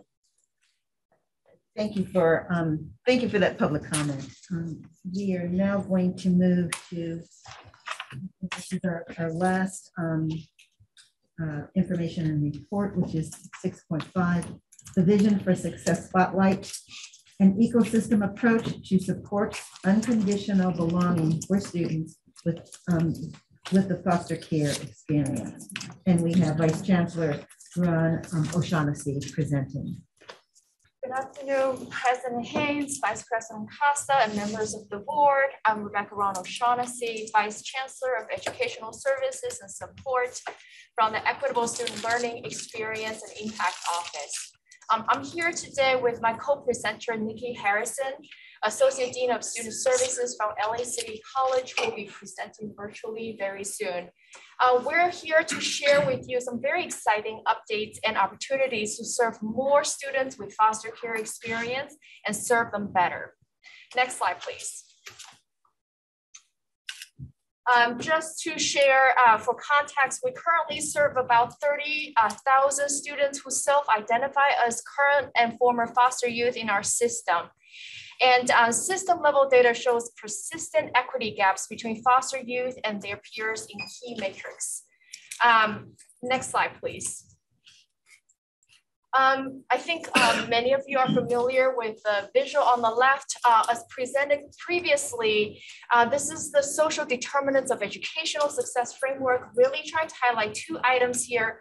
One is the importance of financial stability, fiscal and mental well-being and support networks for every student so uh, to successfully engage in their higher educational journey. And at the same time, the framework really emphasized the importance of shifting and removing student burdens through an ecosystem approach, which includes equitable structural change, plus the coordinated high touch interventions based on unique needs of student populations. So you see the list um, on the right. So the blue, various shades of blue really highlight some of those unique needs for students with foster care experience. Um, some of them, to name a few, lack of family and social connections, trauma exposure, exposure to multiple systems, really causing disruption in many things, including elementary and secondary education, higher incidence of health and mental health challenges, basic needs insecurity, significant correlation to housing insecurity, homelessness, just to name a few, right? So the goal here is to push for a both and approach with program design and service delivery. Given what we know, how do we design structures with these, these needs in mind, right? And then also, how do we design high touch interventions to explicitly focus on addressing these barriers? Next slide, please. So I want to just shift the gear a little bit to just talk a little bit about the Next Up program, which is really the core program currently we have in our system to support foster youth. Quick walk down the memory lane. It was established in 2016 as a CAFYES program. It's co uh, cooperating agencies foster youth educational support program. Um, we were allocated 20 million ongoing funding to support that. So we were able to stand up 46 programs in 46 colleges for the Next Up program. And the three key purposes of the Next Up program per the education code are on the right. Essentially, what I'm reading here is doing everything we can all kinds of services necessary to support post-secondary education for foster youth. And um, there's a language there around expanding the number of students participating in EOPS really was also um, because on the onset, the uh, Next Up program was established as a program that will be housed within the EOPS structure. And also really the confidence that that type of high touch above and beyond intervention will work for uh, uh, students with foster uh, care uh, experience. Next slide, please. So here's the really exciting update in this year's budget, we received a significant increase in the investment for the Next Up program, going from $20 million a year to $50 million a year. So what we are doing here is changing this, uh, you know, 46 colleges, the colleges who, who were prepared to do it, who were willing to do it into system-wide implementation, meaning we want every college to stand up a program to serve our foster youth in our system. And uh, we are, so with that, we are anticipating to allocate the rest, the balance of the $30 million out in January 2023. So the 20 million has already been allocated. And uh, what we are doing uh, as a process is really to, uh, after we allocate the dollars, we'll also send out a letter of commitment, making sure colleges understand that uh, they have to uh, set up the program, comply with all the uh, legislative requirements and regulatory requirements. Also really focus on this cross uh, department within college, like cross department collaboration to create that ecosystem to support students. And then I would say, in addition to the money, it's even more exciting is really the legislative expansion around language to expand the enrollment for the Next Up program. So I can just give you a little bit of a highlight. There's three key changes. One is to lower the minimum wage to allow enrollment of current or uh, former foster youth as long as they were in the foster care system at any point on or after they turned 13. It used to be 16, so now we have lowered that minimum requirement to 13. Uh, second piece is uh, even though there is a minimum credit enrollment requirement, which is nine units, but the legislative change actually now allows students to enroll if they have fewer than nine credits, as long as they show that they have a plan to go above the nine credits. So it's so it's really giving that flexibility to allow for that uh, enrollment uh, minimum units. And the third piece is really allow continuity of service. So typically, before the law change, um, you can only enroll, like the last year you can enroll is before you turn 26, right? And the service ends after that year. So essentially after 26, there will be no longer have, you are no longer eligible to receive next up services.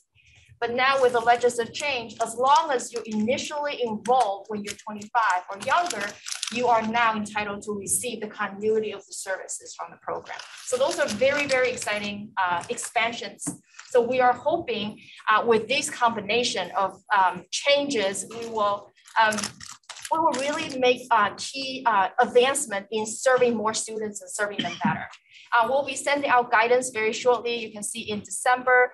Well, and then uh, for our reading next year, the focus will be uh, regulation changes, right, to align to the language of the legislation. And then also, more importantly, the legislative intent of expanding services to more students. Uh, next slide, please. So, and then also critical piece where we talk about shifting burdens, we talk about removing friction points. How do we turn something from someone eligible to someone actually receiving it? We want to make it very clear, there are only four eligibility for Next Up program. So one is the 13th birthday, uh, the 13th birthday uh, change that we, I just mentioned, and then establish residency in California, enroll in nine units. Again, the nine units now has flexibility.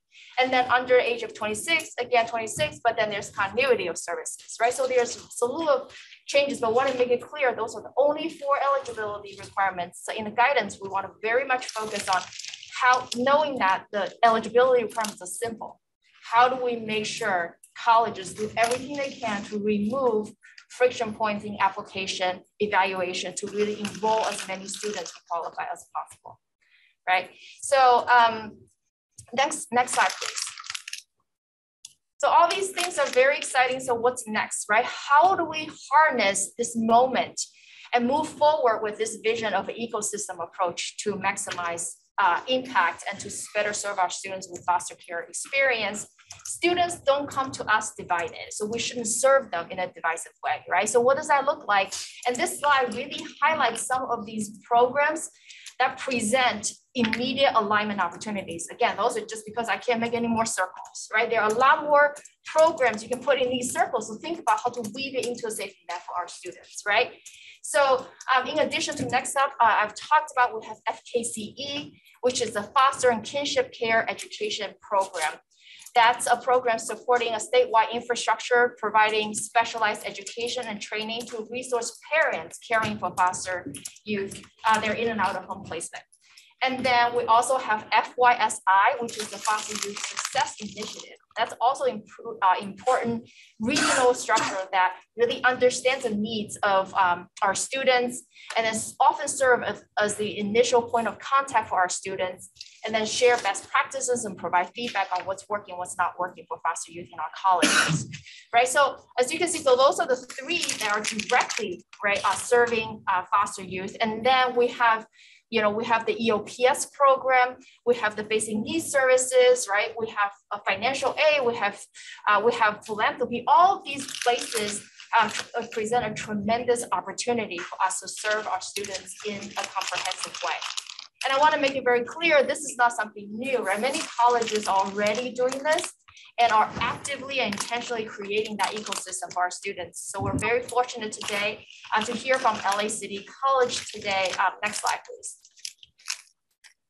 Um, so before Nikki speaks, I would like to bring your attention actually to the many hats Nikki's wearing here. In addition to Associate Dean, right? EOPS Care, Foster Youth Programs, that's uh, next up NFKCE, Resources for Success in Umoja. So I'm gonna turn it over to Nikki to talk about the success and learning she has gained with the multiple roles that she holds in this journey um, to better support our students with foster care experience. And to the team behind the scene, if you can just pull down the slide so we can see Nikki's face. Hi, Nikki, I see you. Take it away. Okay, great. Good afternoon. Uh, thank you so much. Um, again, my name is Nikki Dixon Harrison. I serve as the EOPS Associate Dean um, at Los Angeles City College.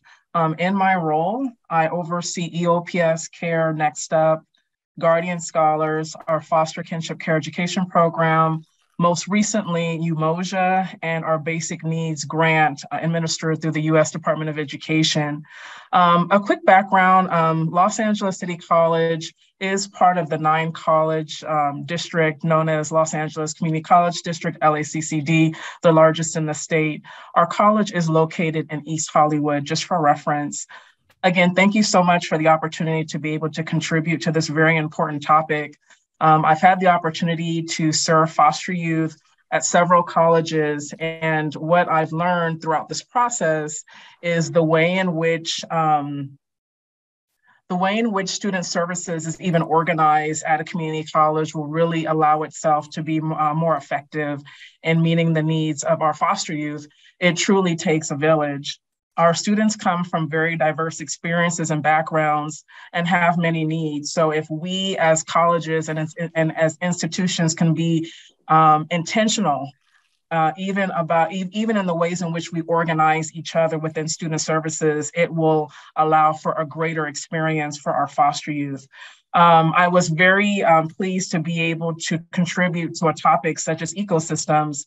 Um, and here at City College, uh, Los Angeles City College, we have been able to create an ecosystem of support to maximize the impact for our foster youth. Um, and to highlight this, it is important to note structurally how we had to internally look at our, our own organization as a college and, and make some critical um, changes. So first, I'll, I'll highlight our organizational redesign, which took place a couple years in student services. This was prior um, uh, before I even joined uh, the college. I've been in my current role for a little over a year.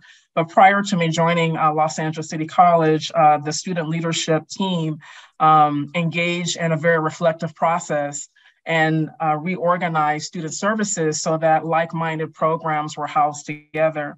Um, in doing so, rather than having two or three different coordinators uh, uh, facilitate activities for foster youth, that was all consolidated into one position um, which essentially really did eliminate the silos of programs working in isolation. But this reorganization has allowed us to effectively work and create a seamless experience for our students.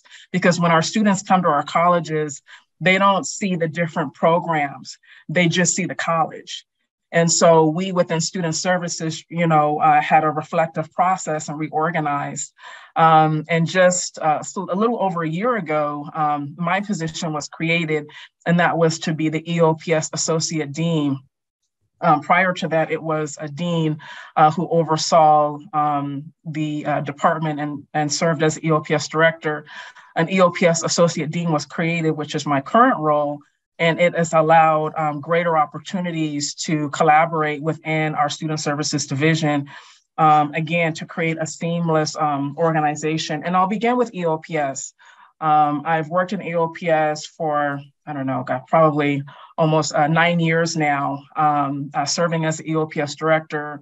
Um, and as was uh, mentioned earlier, uh, Next Up is housed under the umbrella of EOP&S. And EOPS, we have uh, served uh, first generation low income students uh, celebrating 53 years of service in the state of California. As our program, you know, we go over and above to meet the needs of our students. And we do so, you know, by providing priority registration, academic counseling, financial assistance for book vouchers, meal cards, cash grants, college tours, group counseling, and much, much more. Um, which makes what makes the EOPS uh, experience so important is the connection and relationship that we have with our students.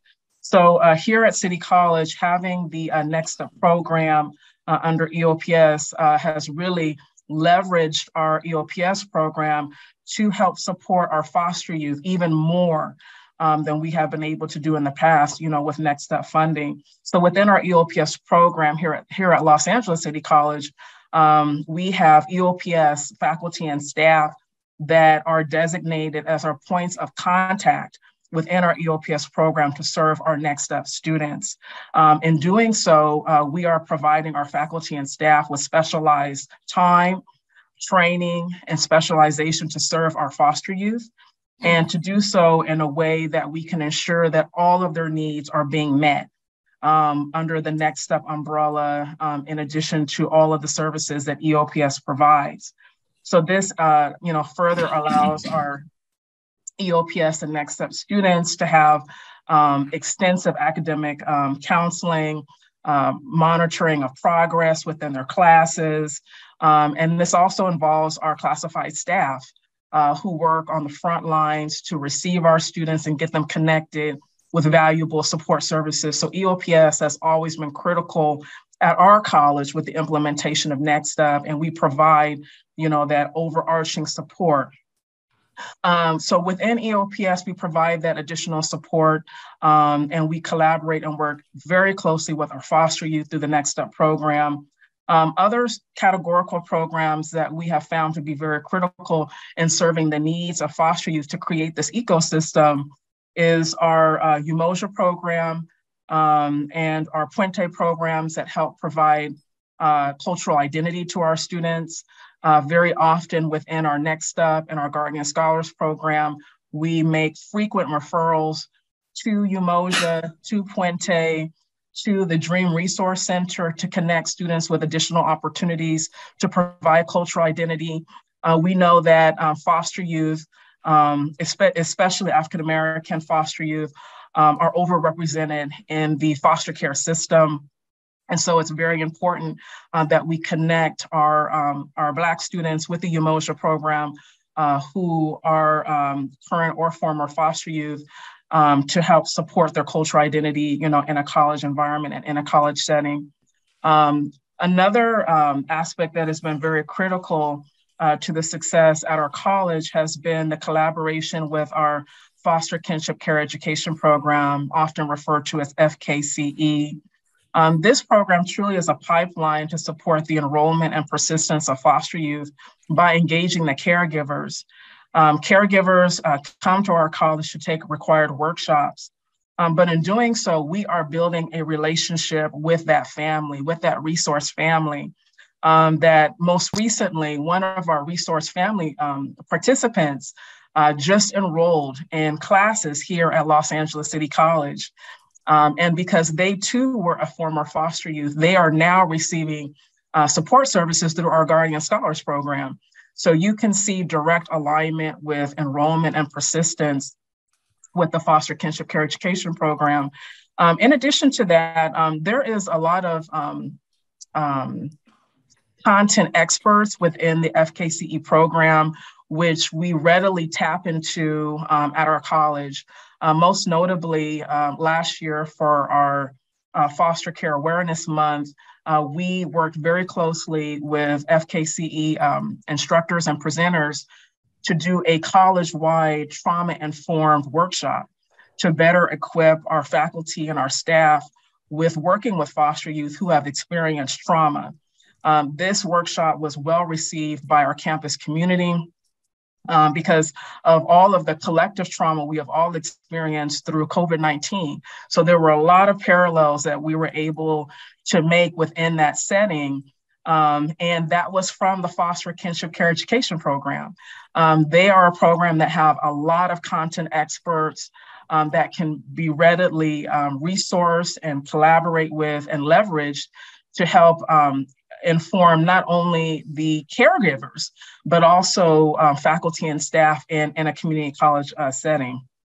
And lastly, uh, we also partner closely with our foster kinship care education program and having our foster youth come and speak to caregivers to share from their student voice, from their student experience, what it's like and to provide caregivers with you know nuggets of information on how they can be effective in supporting the youth in their homes to want to continue higher education.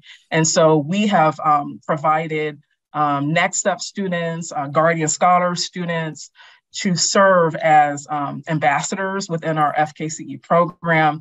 And it also has proven to be a great leadership opportunity for our foster youth in a college environment so they can articulate and share their story.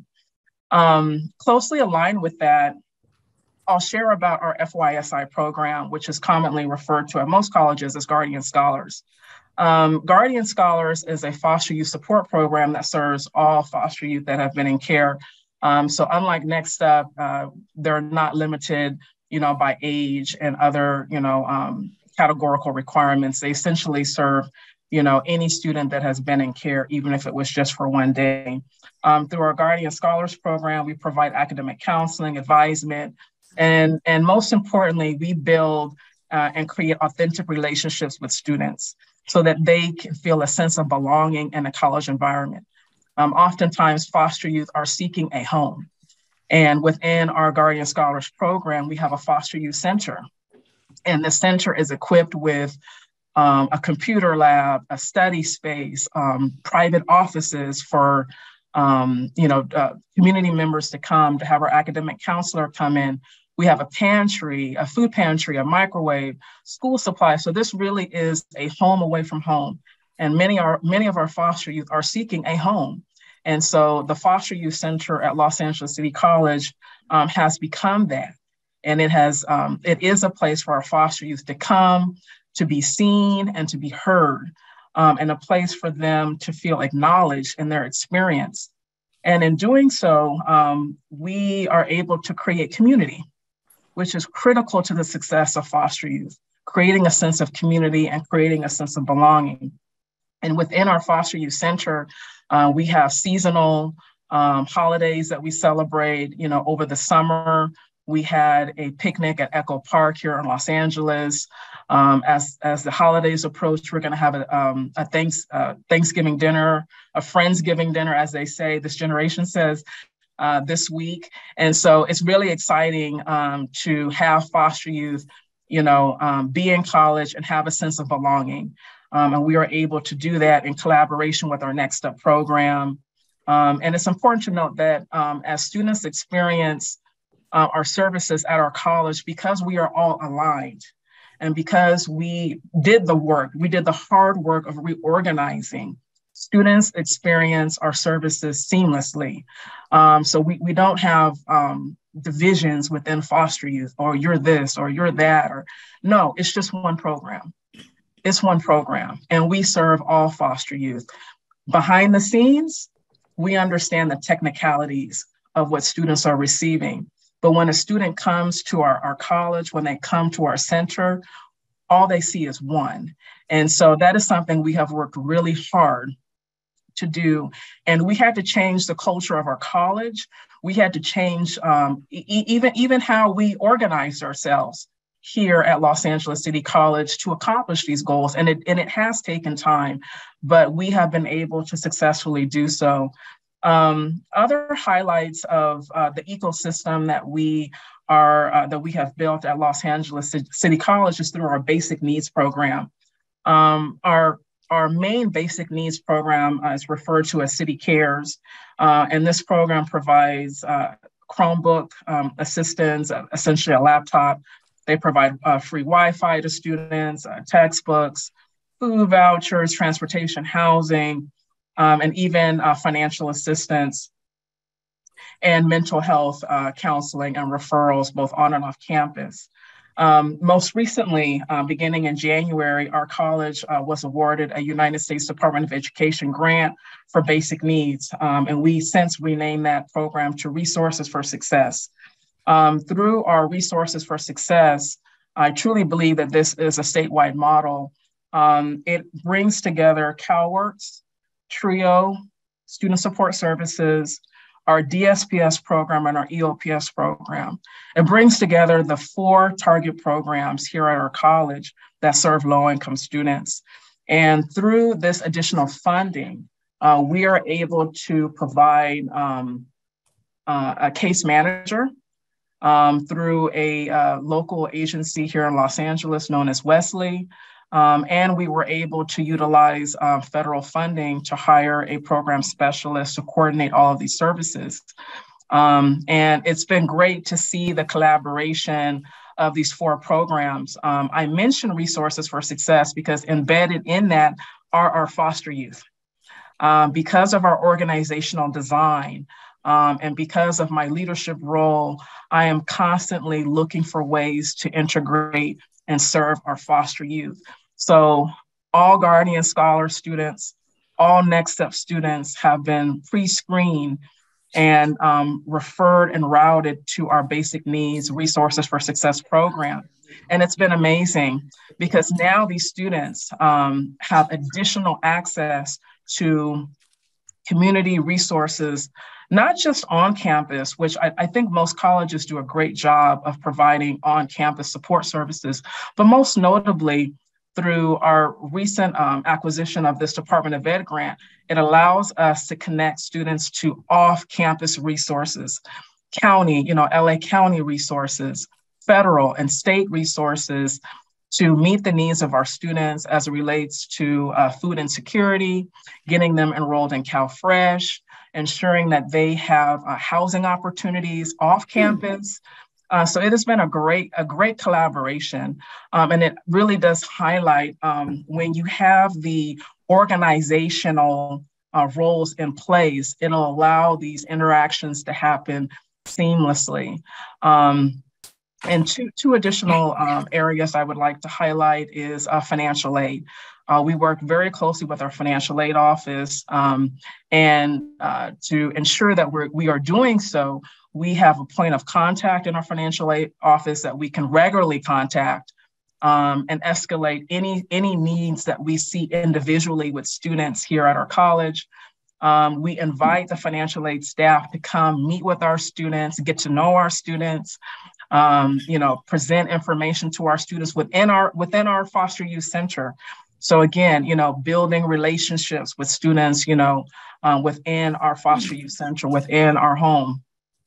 And then we uh, next up works very closely with financial aid uh, to make sure that our students are receiving their uh, Chafee grant, um, assisting students with any financial aid appeals, um, and of course the financial aid application itself.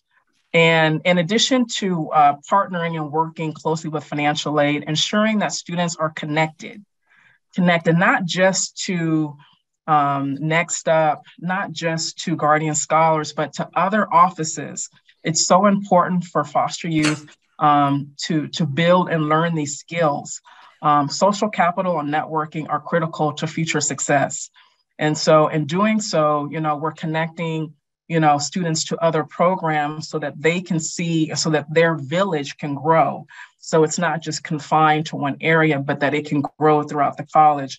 Um, we encourage our students to participate in federal work study, uh, which we know that students that work on campus are more likely um, to continue, they're more likely to persist and to graduate.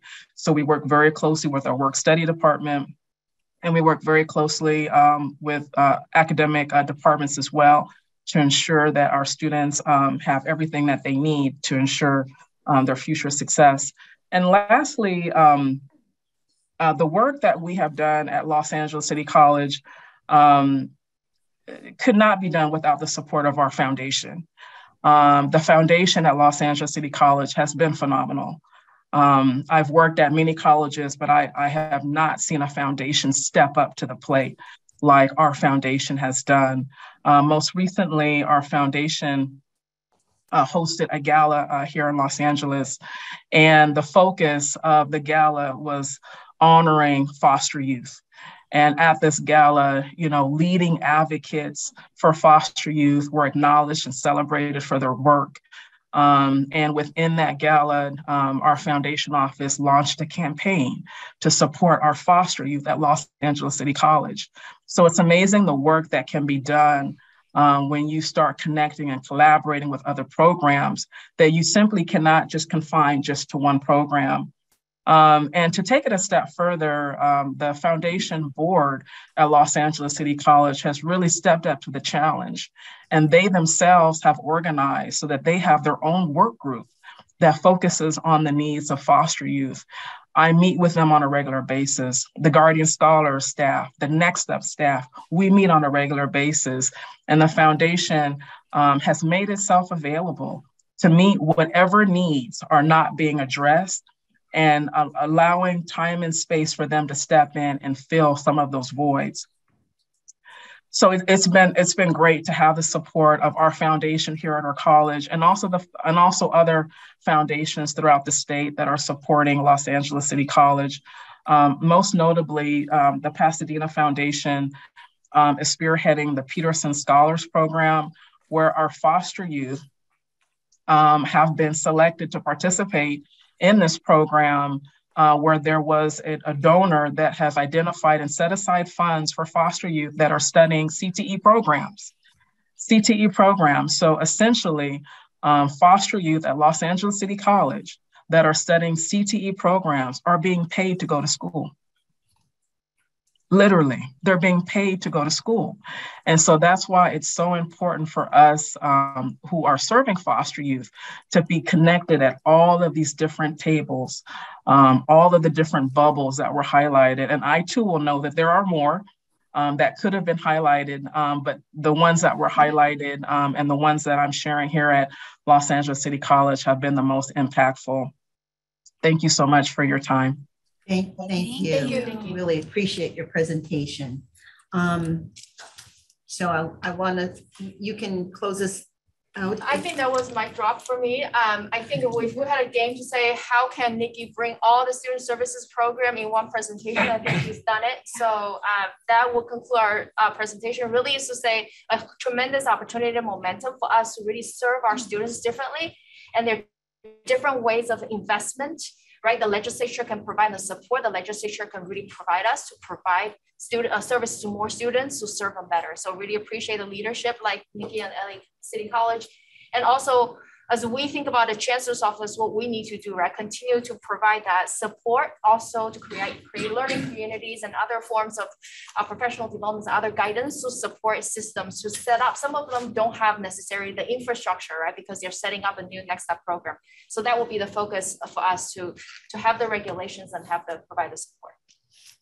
Thank you. Um, I want to make I want us to make, make note of the time. It it is 418. I, I will hope that we can make five o'clock, but we have public comment. And but I do not want to stop the conversation, but I want you to be cognizant of the time. So I see the two um, student board members. So I'm going to start with um, member Medina, and then I'm going to go to member Elizondo.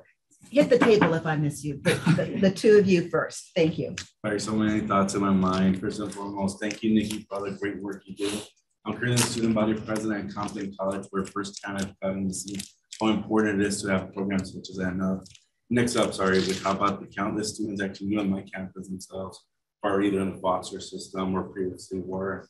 And also I'm a student at East Los Angeles College, your fellow LACCD school, where um thank you, thank you for everything that you do um at your respective school, but also overall, um, I noticed the importance how you touched on EOPS, CalWORKs, I mean, basic needs. I mean, as a non-traditional student, we often talk about older working students, military, um, previously incarcerated, but how about our foster youth, foster youth that I could just, you know, I picture them, you know, there's one thing working, having to work two jobs, but how about when you, you're emancipated at a young age and you have nothing to fall back on? I mean, there's this, I mean, a program like this is just so important, so important to keep students obviously active being enrolled and obviously pursuing their future goals. Thank you, and definitely, you know, so look forward to supporting any way, shape, or I can to make sure that you know, foster students and previous foster students actually excel and thrive with results. Thank you. Um, well, I echo those sentiments, and I, I would say um, thank you for what you do, and also thank you to the Chancellor's Office for continuing to prioritize this community. Um, as, as you know, I'm a former foster youth myself. Um, I actually started at that Guardian Scholars Program at LACC uh, under Veronica Garcia at the time, um, and then I transitioned to the SMC Guardian Scholars. Um, and these support services are critical for the students to flourish, as you were mentioning, and um, finding that home and community. And, and, for me in particular, I moved to LA.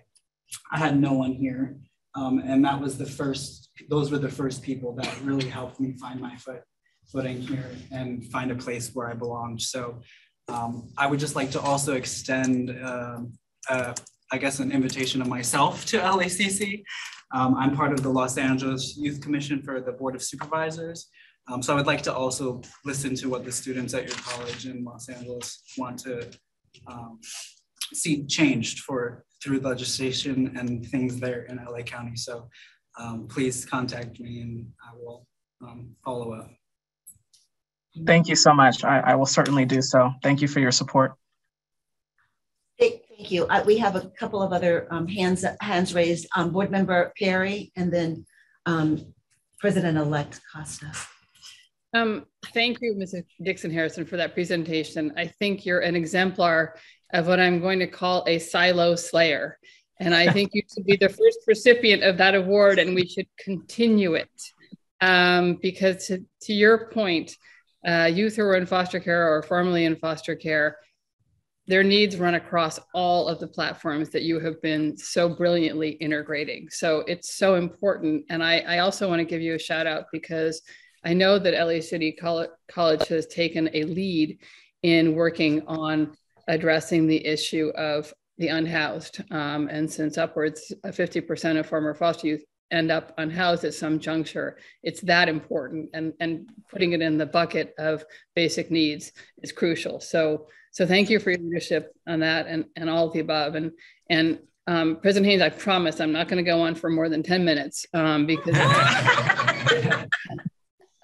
um, lost control of my members of the board. AWOL members have gone. So, and the other thing I want to thank the chancellor's office and also our governor and the legislature for recognizing how important these programs are.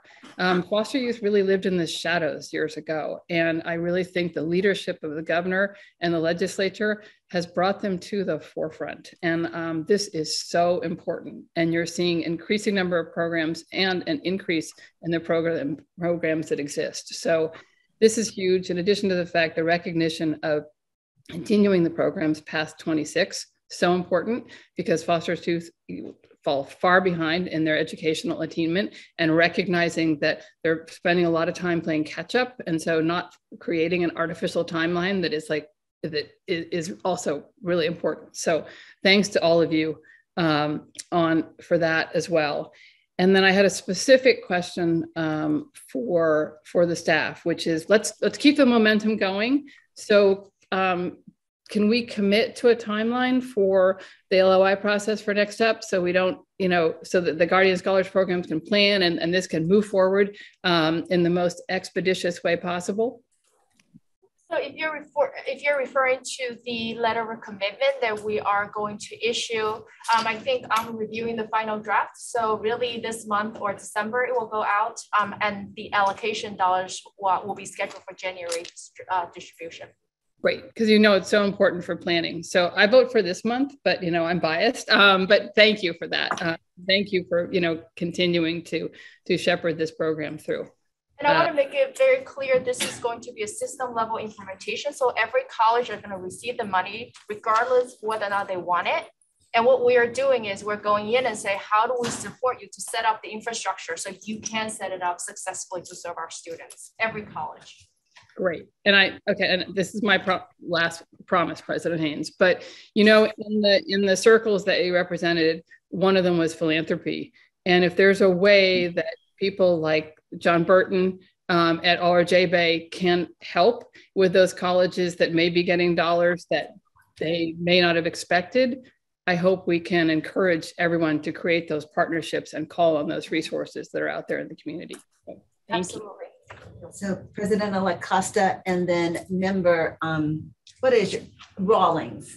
I'm going to call you by your first name. Member Rawlings will come after. Uh, thank you. A great presentation. I'm so glad that we heard this today. Um, I kind of want to piggyback, I think, on uh, Board Member Perry's comment. And um, I would hope, because we're providing direct financial services um, and, and help in light of the fact that the economic headwinds are really strong, inflation is really high, and this is a program that provides direct financial assistance to foster youth, that we could get that money out the door quicker. Um, you know, we have 7% inflation. This is one of the most vulnerable populations that we have. And the finances for them are absolutely essential to their continuity in their educational program. And I know that we got a lot of different programs, and I really do appreciate the staff probably has a yeoman's effort of all of these different programs. But I do think that this is a program that we should prioritize um, given who it serves.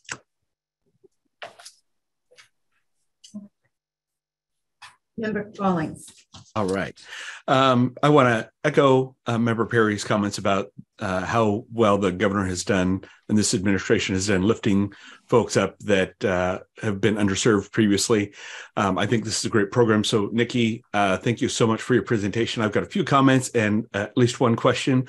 Um, one uh, appreciation for the intentional removal of silos just by the nature of how the program is structured um, because our the lives of our students are very intersectional.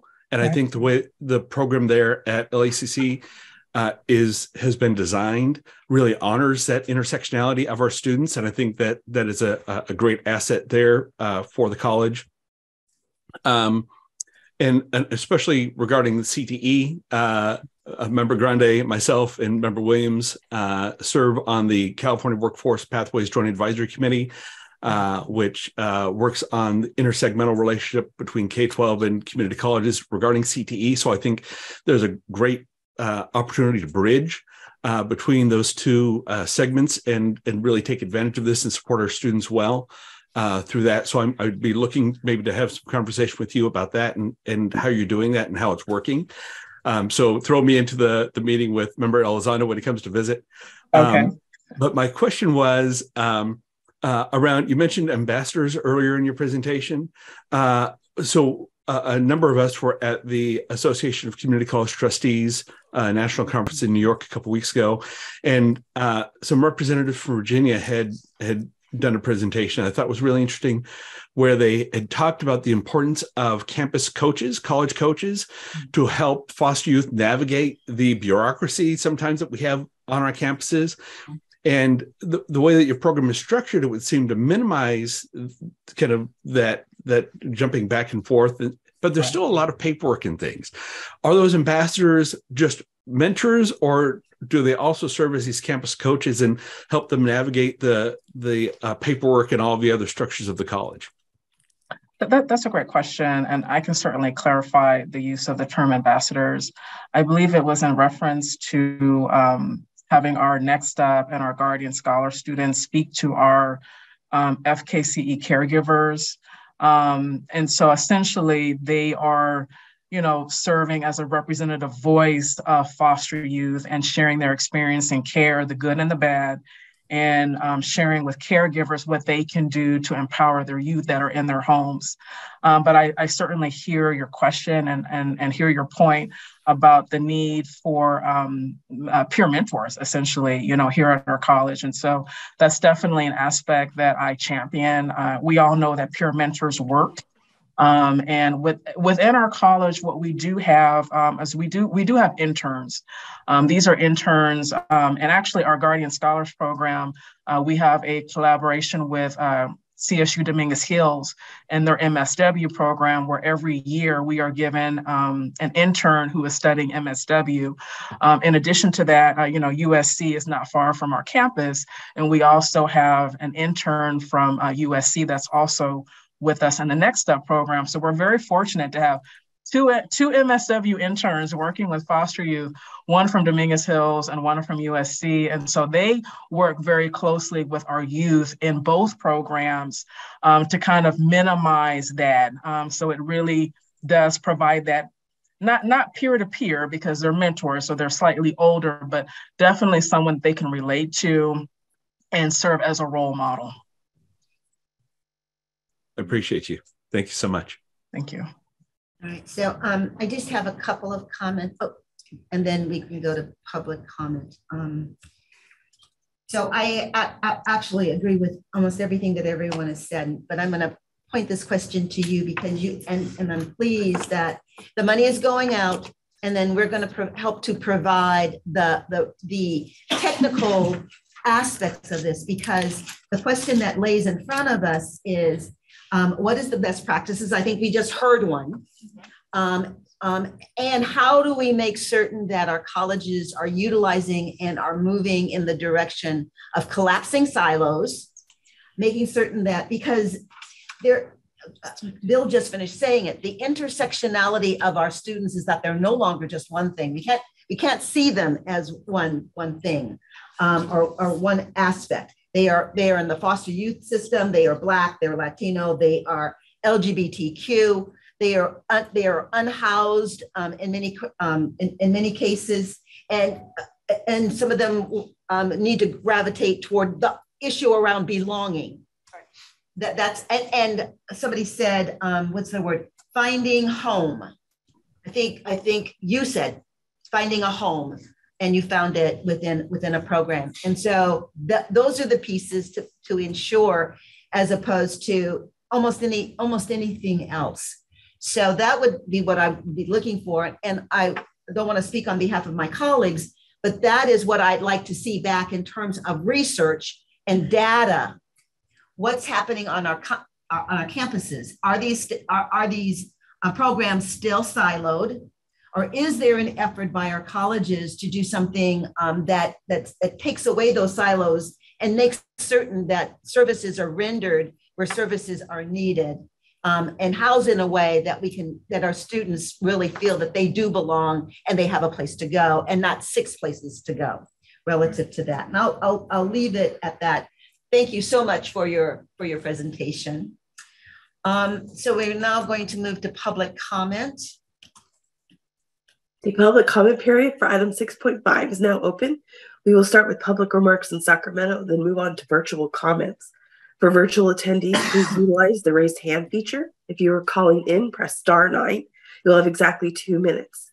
President Haynes, we did not receive any in-person comments and there are no hands raised for this item. Okay, thank you. I want to um, make note of the time. It's 432. Um, and I want to now go to if there is a board report in terms of our members. Okay. Um, I'll try to be brief. Um, I have a couple things. So, in relationship to the youth, um, I went to the Blueprint Conference for youth. Um, I just wanted to say that um, I appreciate the representation from the CCC and uh, Chancellor Gonzales being one of the keynote speakers for that event. Um, and it was good to see students from across the state and also the different systems um, and the services learning about services across the state. I also want to thank the Chancellor's Office for um, inviting me to speak at the LAVC Anti-Racism um, Indigenous Peoples Land Acknowledgement Ceremony. Um, that uh, I had a chance to speak with President Gribbons there and really work with them on learning how they address land acknowledgement and how potentially our CCC system can acknowledge um, statewide uh, the lands that we currently operate on. Um, so I appreciate the toolkit that the Chancellor's Office has given to the community colleges, and I wonder how the Board of Governors could potentially acknowledge the land that we operate on as well. So um, bring that as a, something to think about. Also, um, President Haynes mentioned earlier, we went to the ACCT conference. I was there as well, and that was a very um, impactful experience. We learned a lot, um, and there was a very um, well-spoken keynote speaker that I look forward to hopefully having come visit the Board of Governors and talk to us about the innovation of technology and the online media um, platform for our system. I, I think it's important, as I've mentioned multiple times before, that the online education sector will not replace the in-person learning that we have but it will help us remove barriers for those who have not been able to obtain education and are predated on by those for-profit colleges that do not have the best intentions um, of the students who go to those institutions. Um, I also met with the state treasurer's office about Cal Kids and learned a little bit of how that will help our foster youth um, in transition to higher education. And lastly, I want to thank um, our interim deputy chancellor Navarrete uh, for inviting me to speak at the system webinar um, on affordable housing. I think it's important that we also look at how our students um, are housed during not only the challenges of the pandemic, but having students um, supported through the different things that they um, go through as housing is critical to receiving an education. So thank you. And that's on my report. Thank you. Any other board reports? Yes, um, we're going to go with um, Paul Medina, our new student.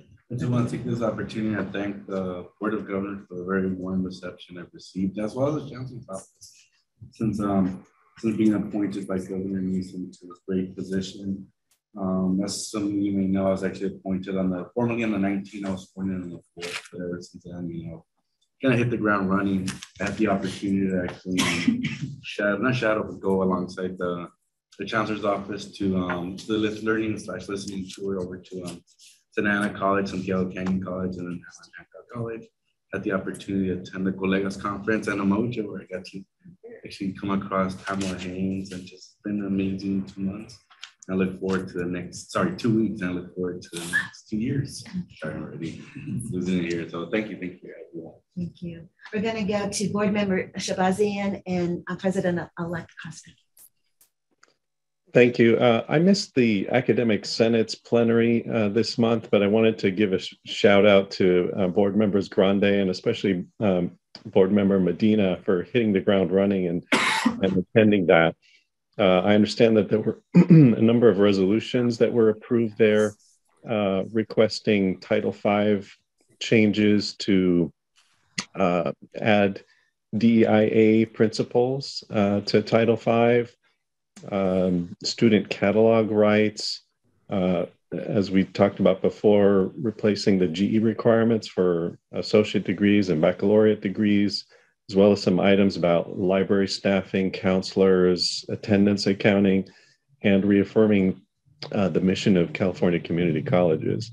Uh, and I also wanted to, going back to uh, President Haynes' opening uh, uh, comments. Just wanted to thank you uh, for the work that you did in traveling uh, and bringing back uh, a word that maybe is difficult to to say to us, but that we we need to hear. And thank you for sharing uh, the story uh, and helping us to come to terms with um, the history that that we have to deal with. thank you for being that messenger, and we appreciate all your work and leadership on things like equity. Thank you.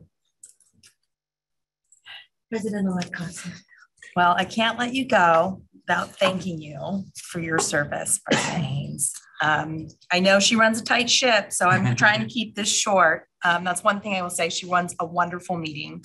Um, and I think that she is able to balance allowing everyone to have comment, but keeping us on track. Um, and that is really a very unique skill set. Um, Pam is very inclusive. I've been very lucky that she has allowed me to shadow her for these last two years uh, and really learn from someone who has, you know, quite a bit of experience and panache uh, in her role. Um, and, you know, as board member Shabazian said, um, I've appreciated that a lot of the policy that Pam is passionate about is rooted in her personal experience um, and that she so willingly shares it with us because I think we all know that although that's her personal experience, it's representative of countless others. Um, and that she really understands that our students you know need us to be dynamic need us to be nimble because of her personal experience um, and um, i really appreciate that you've taken that into your work um, and that you are helping um, those behind um, come up based on that experience um, I think your passion for students um, is remarkable. Um, and every time we have a conversation, uh, this came up a lot today, students first, that's always the case for Pam. She never has to be reminded of that. Um, she always has the viewpoint of what's best for students, regardless of the myriad of policy um, areas that we talk about. Um, she's also got extensive district experience, which has been very helpful, um, not only in this board, but also in our Calbright board, which is actually a district. Um, and she's patient. She is willing to share her expertise with anyone who asks um, and is um, usually not impatient with me when I ask her for her experience. Um, so I just want to thank you because I think um, not everyone realizes to be a successful um, and effective board member, it takes a lot of time. And you do the work. You do the work every single day. Um, and it is, in some ways, maybe kind of a thankless job to corral all of us as board members. Um, but you've done it with grace um, and poise. And just thank you, Pam. I really just appreciate you so much, um, not only as a president, but as a person too. Thank you. I just have one comment. Everyone, oh, okay. Can I just do a? We're going to embarrass you, Yeah, Pam. can I just do a, a, a me too? And, and don't forget Valerie, her hands up. I just want to do a me too. I, I think it's been great to see how you two work together as a team, your leadership, and you, and in particular your moral leadership here is is extraordinary. And I just wanted to echo that. Board Member Shaw. Yes, President Haynes, it's just been a pleasure working with you. Uh, I just, I just, I simply just want to say your your opening comments were, you know, profound and um, telling, and I just want to tell you that the ancestors are very proud of you. Thank you. Um, let me thank you. Um, these four years, I include the vice president leadership as well as um, as well as the, the presidency. Um, I didn't start telling my story until I became a board member on this board because um, I didn't want to tell the truth of how long it took me to get through school, to be really honest. Um, but as I started talking to, so I let pieces out. Um, but as I started to talk to students, and as I spoke before them, they're the ones who gave me permission to tell all of my story. And their comments to me was, thank you so much for sharing because it gives me hope. Um, um, I, I have been unapologetic and I've tried to be authentic. Um, but that doesn't mean I've always tried to tell everything. And so I've had to let go of, of why it took me so long. There were all kinds of reasons. What I do want is to make the pathway and the experience so much better for our students. I want to clear the way. I want to clear, I want us all to collectively clear the barriers to get past um, sort of our special interests. And at the end of the day, clear the barriers for our students. And so that is why I'm here. Um, that is my commitment. Um, and and um, I won't go anywhere. I have been reappointed for the next almost six years. So I'm going to be here. And um, and then it'll be easier because I'll be a board member. Doggone it. Uh, but I want to thank you for the privilege, the absolute privilege of serving in this capacity. Um, I, I didn't ask for it. I got recruited over breakfast, and breakfast is my favorite meal. So I went to the breakfast, and all of a sudden somebody says, Well, I think you should do such and such and such. I said, Well, can I pay for my breakfast and we don't have to worry about this? But with that said, um, it has been the pleasure, the privilege, and the honor to serve on this Board of Governors and to serve with my colleagues. So thank you for that. Um, so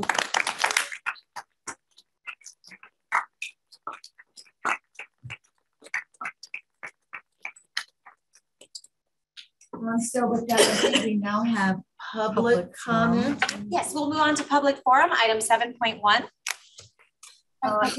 Yes, in room we have Wendy Brill Wine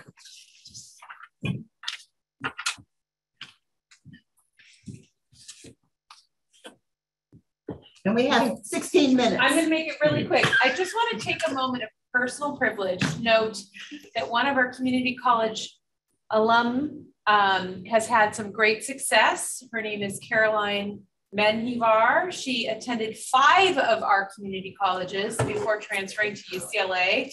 And last week, this young Latina, she's younger than 40, I don't know, she's in her 30s, was elected to our state senate to represent Senate District 20, of which I am a constituent. Why I'm taking a moment of personal privilege. I know she's from far the only, not the only legislator to attend our community college. We have so many, but um, I just wanted to take a moment. Sometimes when we sit here, we think about all the barriers and all the problems and all the things that don't go so well. But we are really growing amazing leaders. And I think it's so important to tell their stories. And if you've never had a chance to hear her story, you should invite her, her to hear her story. And I thank you, Pam, for your stories, because I think that's why that's when when when you're exhausted, that's when you know it's worth it. So thank you. Uh, next, we have uh, Chelsea King.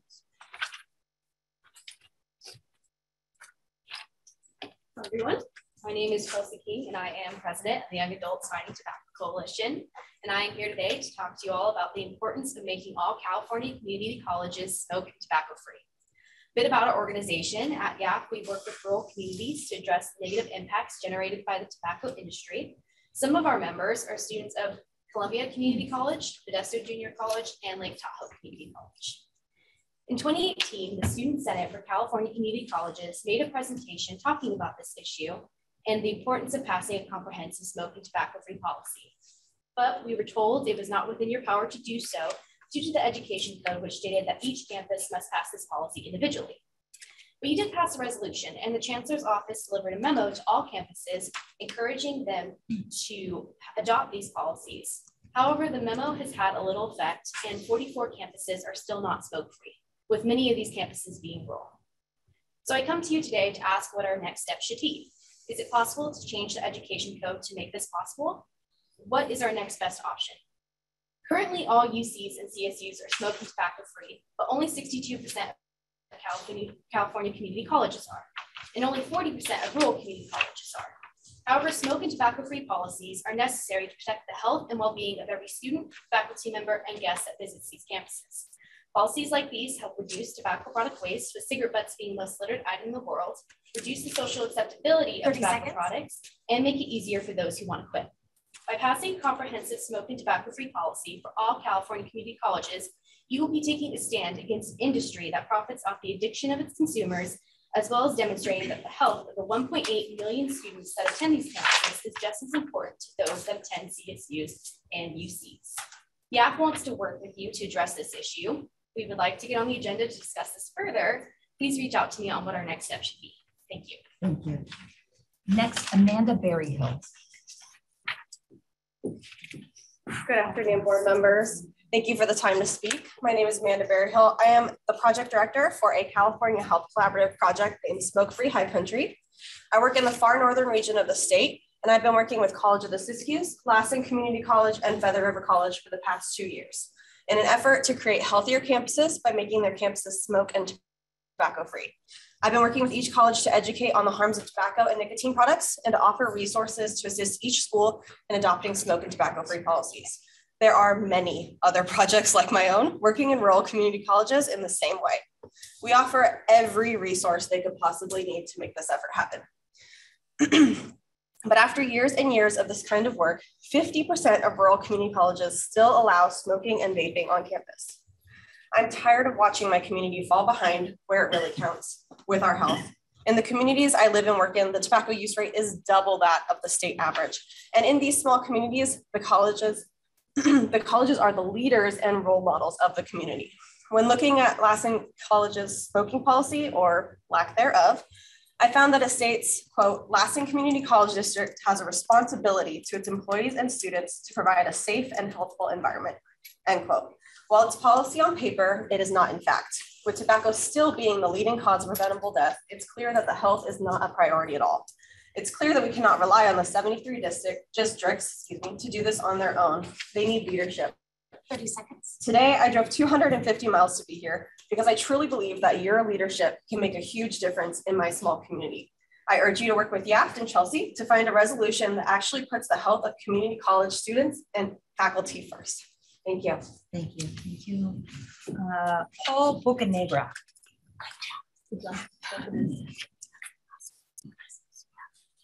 have two minutes, folks. So I can't even give a brief. So just let me give you the highlights of a letter that I received uh, anonymously. This was addressed to Brenda Thames, the superintendent of one community college district in Torrance, El Camino. Um, this is in regards to uh, her vice uh, superintendent, Robert Supuesta. And it was also mailed to this, this memo that I received to the um, um, Human Resources Manager and to the Affirmative Action Officer. The date of it is September 16th, over a month ago. I'm just going to give you the words and highlights. Uh, the Vice uh, Superintendent, Robert Supuesta, made the following statements at a um, uh, mandatory meeting. There were one, two, three, four, five, six, seven, eight people in attendance, Black and Hispanics. He said, the monkeys are running the circus. This is in regard to El Camino Community College. He also made the statement that the inmates are running the asylum. I can go on, but it'll take more than two minutes to read.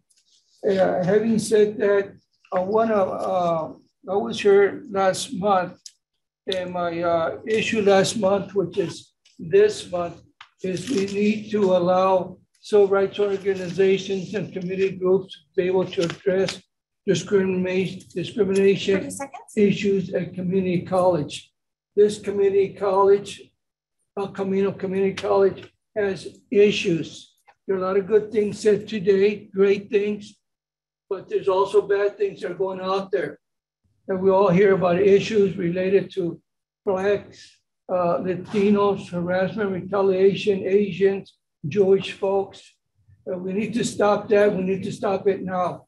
Four years ago. Thank you. That's time. Okay, okay. I'm going to finish by, by saying that uh, uh, one of the requirements of the board here is to uh, uh, provide general supervision over community college districts.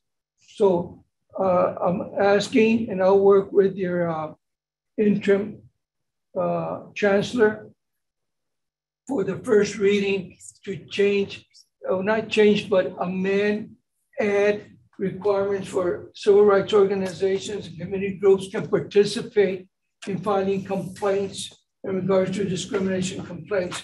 You folks have a responsibility in regards to providing state funding it, it, where the requirements are that there should not be any discrimination going on. So that should be something that should be looked at. You folks cannot talk anything about it. You're talking about the great things, but let's talk about the things that need to be improved upon. Thank you. Thank you.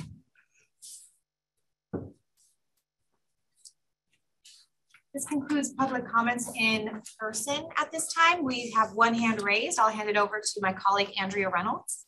Thank you, Christina. Stevie Carpenter, you have access to your microphone and may address the board. Hi, my name is Stevie Carpenter. I am the former vice president, also executive outreach and center of activities of the Associated Student Government at Los Angeles City College. I am a current student representative for the Student Senate for California Community Colleges, founder of New Nexus, and CEO of Black Corporation. I came to this committee on August 18th or 16th for their strategic session, and I stayed their entire time to address the board on AB 705. Also, I came today at 10 a.m., stayed here to listen to the entire meeting. And from everything I heard, I don't really think the board cares that much. You give everyone two minutes to speak, but then after that, you just cut it off without a response someone asked the president, can remember who it was, a question regarding uh, something that someone was talking about, and she said she couldn't address it at the current time because it's not uh, the right situation to do that. So if it's not done in public and you're doing behind doors, then to me it's not it's not really done in a proper manner. There are students who are being paid less than minimum wage. There's uh, counselors who don't know the proper procedures in order for transfer. And there's been multiple students coming here saying this. And looking at COVID, you're trying to blame the low uh, completion rate of grades in English and mathematics to COVID, but AB 705 was passed in 2017. It wasn't the cause of COVID. USC did a paper on this. I did a paper. I sent it to you. I sent it to all the board members.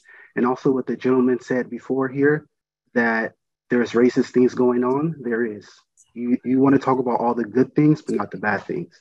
So there's something you guys have to look at that's not what everyone's really addressing.